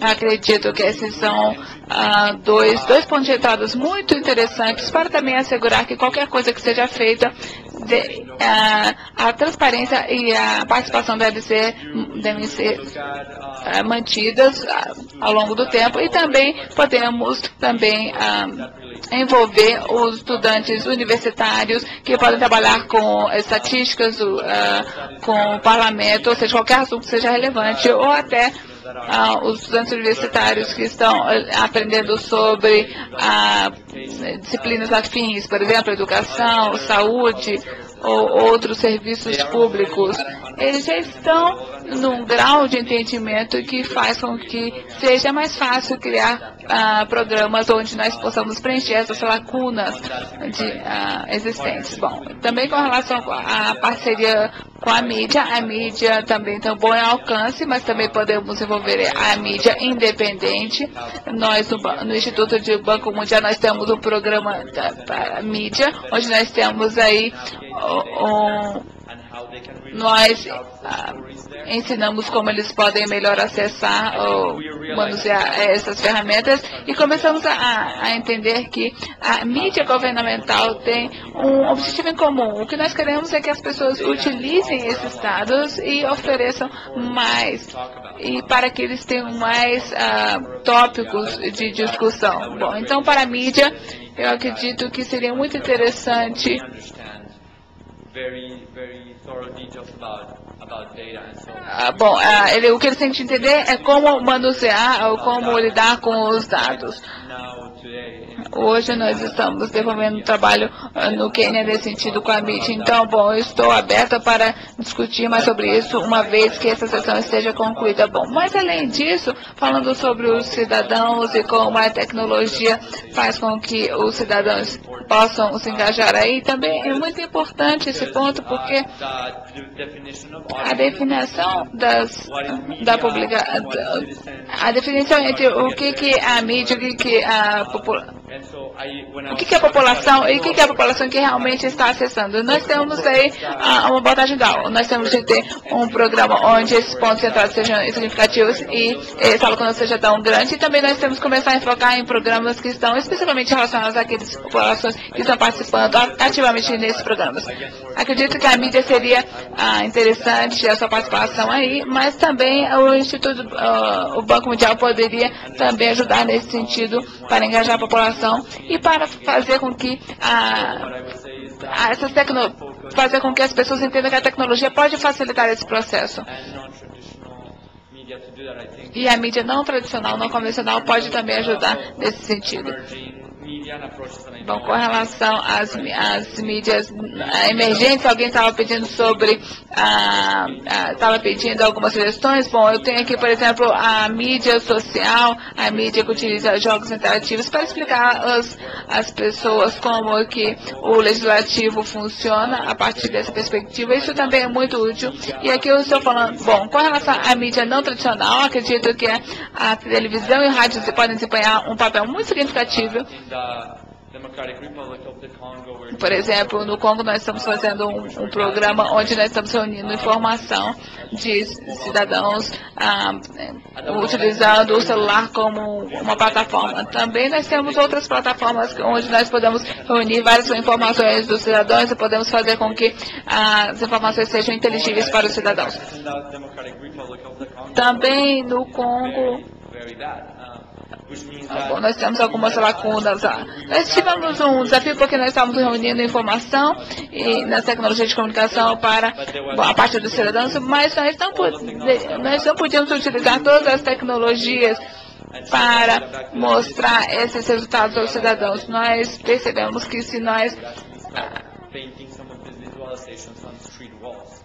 o que acontece é que muitas pessoas iriam simplesmente pintar essas informações que eles acessavam a partir dessas tecnologias nas, nos muros da cidade. Bom, mesmo no Brasil, como em, na Colômbia, a iniquidade ainda vai persistir sendo ah, ainda vai ser uma das grandes barreiras. E nós temos de assegurar que esses processos participatórios não continuem perpetuando iniquidade e não continuem empoderando aqueles que já são empoderados. Mas, na verdade, eles, a, a, ideia é oferecer a pessoas a, a, lugares públicos onde outras pessoas pos, podem também acessar esses tipos de informação. Obrigado. Muito obrigado, Felipe. Vamos passar de imediato a palavra para o nosso amigo João Wonderlich. Serei breve. Bom, muitas questões se referiram a engajamento, a educação para o público. Bom, pensando sobre um, uma, uma decisão de política pública bastante negativa. Pensem aqui, vão, uh, acredito que custou mais do que uh, o orçamento que foi uh, oferecido a vários comitês. E o, o montante que os, os legisladores uh, utilizaram para o engajamento, na verdade não existe nenhuma fórmula para como que esse recurso é usado. Não existe nenhuma receita.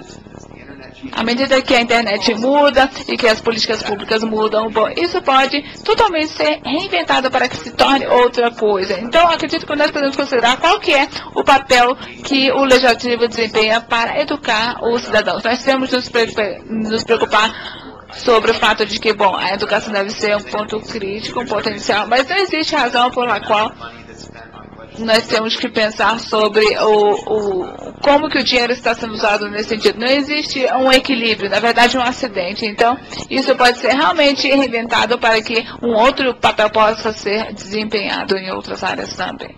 Muito obrigado, João. Thank you very much. A palavra, senhor André, para que possa fazer as suas considerações. Obrigado.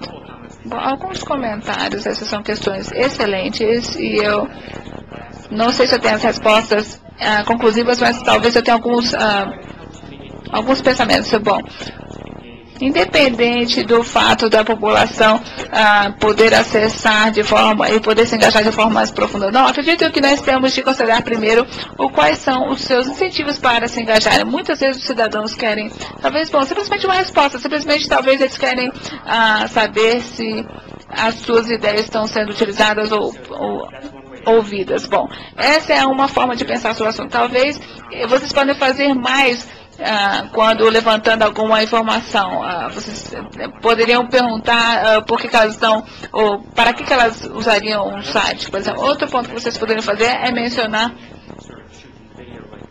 vocês poderiam colocar alguns links de vídeos. Bom, essas são algumas das maneiras pelas quais eu percebo que é feito em alguns países. Também é muito importante facilitar o engajamento dos cidadãos, tanto offline quanto online. Em muitos países,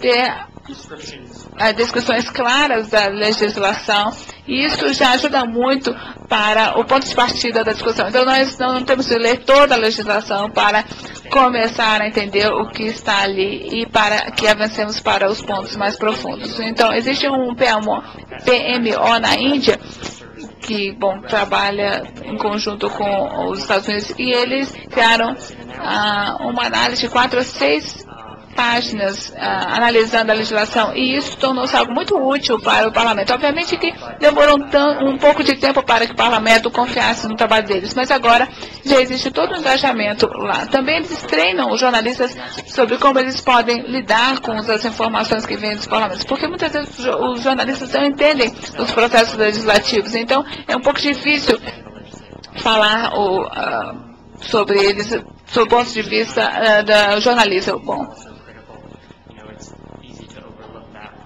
Também muitas vezes nós desconsideramos a falta de tempo que os cidadãos têm para se engajarem. Também a, a ideia de se a, engajar com a ensino médio, universidade, essa é uma outra via.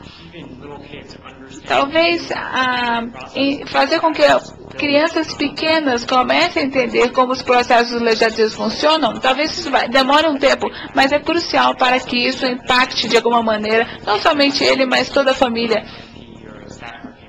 Seria interessante que eles também se engajassem nesse, nesse, sentido. Para as universidades também, o engajamento dos estudantes para que eles comecem a usar ou, ou ter acesso a aulas que falem de tecnologia, para que, por exemplo, estudantes de, eh, das ciências políticas, dos economistas, dos advogados, para que comecem a pensar sobre isso, isso é um ponto crítico também.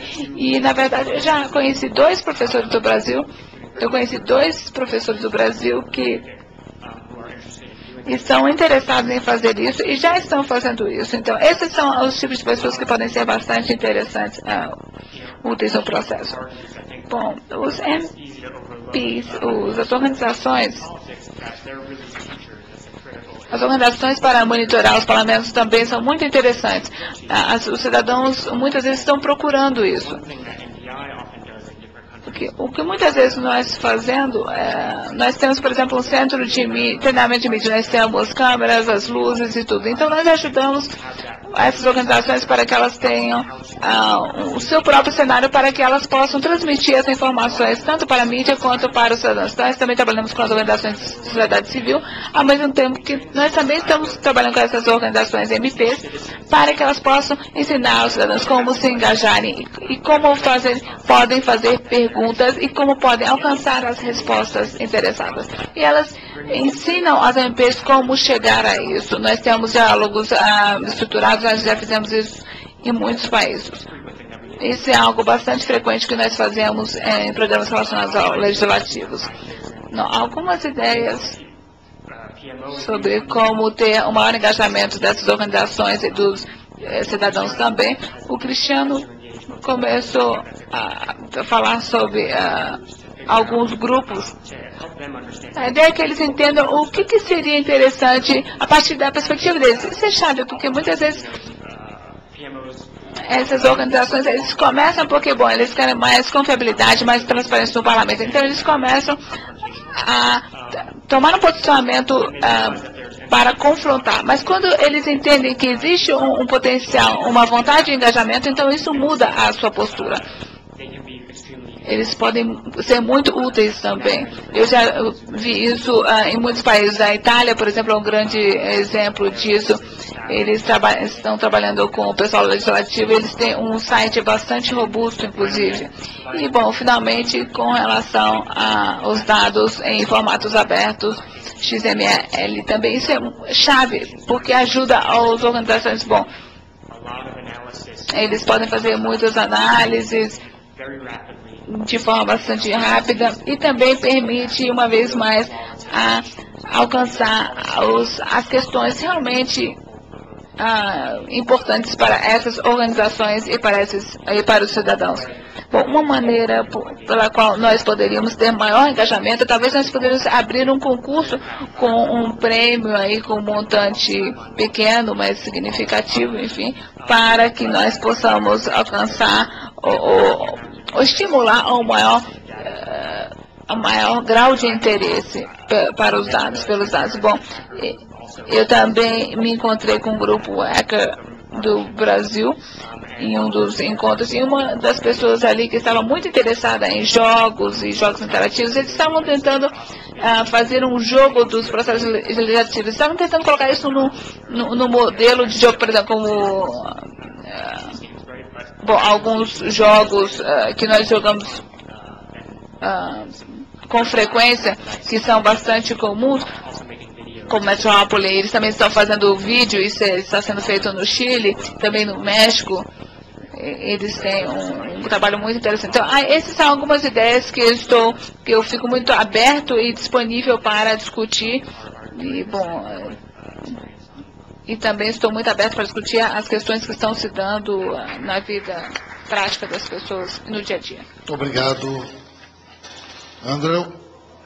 Vamos agora passar a palavra para o nosso amigo Tiago Peixoto, para que possa fazer sua manifestação.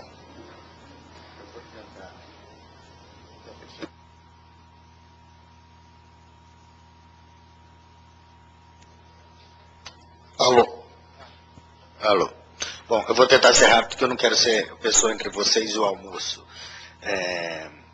Vamos rapidamente sobre a questão da participação. Né? Qual que é o maior determinante de participação que a gente sabe na ciência política e tudo? É o que os cientistas políticos chamam de é, eficácia política. Eficácia política pode ser dividida em duas, interna e externa. Eficácia política interna é a capacidade que eu acho que eu tenho de fazer um julgamento sobre determinada questão. É por causa disso que, no final das contas, educação é um grande determinante para a participação. O outro, a outra, o componente que eles chamam eficácia externa, é a percepção de impacto que eu tenho no processo. Ou seja, se eu pego vou, e voto em uma coisa, se meu voto é contado ou não. Então, o que, que acontece? Na, na, prática, a gente mudar a eficácia política interna, ou seja, através de educação, é um processo de longo prazo para você conseguir que as pessoas engajem. A outra maneira que você tem, e vamos dizer assim, relativamente mais fácil, é melhorar essa eficácia externa, ou seja, começar a dar resposta de fato para o cidadão, a fazer a opinião do cidadão contar. Né? Por exemplo, o orçamento participativo, às vezes quando você faz pra, pela internet, em alguns casos, Estado do Rio Grande do Sul, que o deputado, 20% da população participando na, na, na, consulta, na última consulta popular, quase da população. Esse, esse nível de participação extra-eleitoral é o mesmo da, da, da, de Atenas antigo, é um grau de mobilização incrível. Mas por quê? Porque o processo ele tem de fato impacto. Então, eu acho que é importante, um, de fato, fazer participação com impacto, né, sem ambiguidade. Por exemplo, a gente sabe Existem estudos observando no mundo que o referendo, não o referendo, essas consultas, assembleias e tudo, é, é, elas têm impacto em grau de participação quando elas são consultivas ou, ou vinculantes. As vinculantes têm maior participação. Então é a mesma coisa para o cidadão. É, e eu acho que é importante o cidadão saber que ele teve impacto. Né? Olha o exemplo da loteria. Loteria é uma instituição que já tem bastantes usuários, mas ainda assim, cada vez que um ganha, eles anunciam de onde é o ganhador e tudo, que não sei o quê, porque o pessoal tem que perceber que está tendo impacto. Né? Ah, rapidamente na questão do, ah, da educação do cidadão. Né? De fato, a educação ela tem, ela tem que melhorar, mas isso não quer dizer que a gente não deva criar é, é, instituições mais participativas. O fato que o cidadão também não esteja preparado para votar não invalida a instituição nem os representantes que estão aqui. Né? Então, é uma questão que justamente a gente faz em paralelo. Você tenta criar espaços de participação e você tenta também melhorar as condições de participação. Se a gente for esperar 100% da população ser alfabetizada para abrir bibliotecas, a gente está com algum problema, né, justamente. É, a outra questão é do papel dos mediadores, vocês já falaram, jornalistas. Muitas vezes eu peguei e fiz é, pesquisa sobre website, websites das assembleias legislativas aqui, o usuário final mesmo não é o cidadão comum, o usuário final é o rádio, o jornal do interior. E esse é o mediador que vai estar transferindo é, essa, essa questão.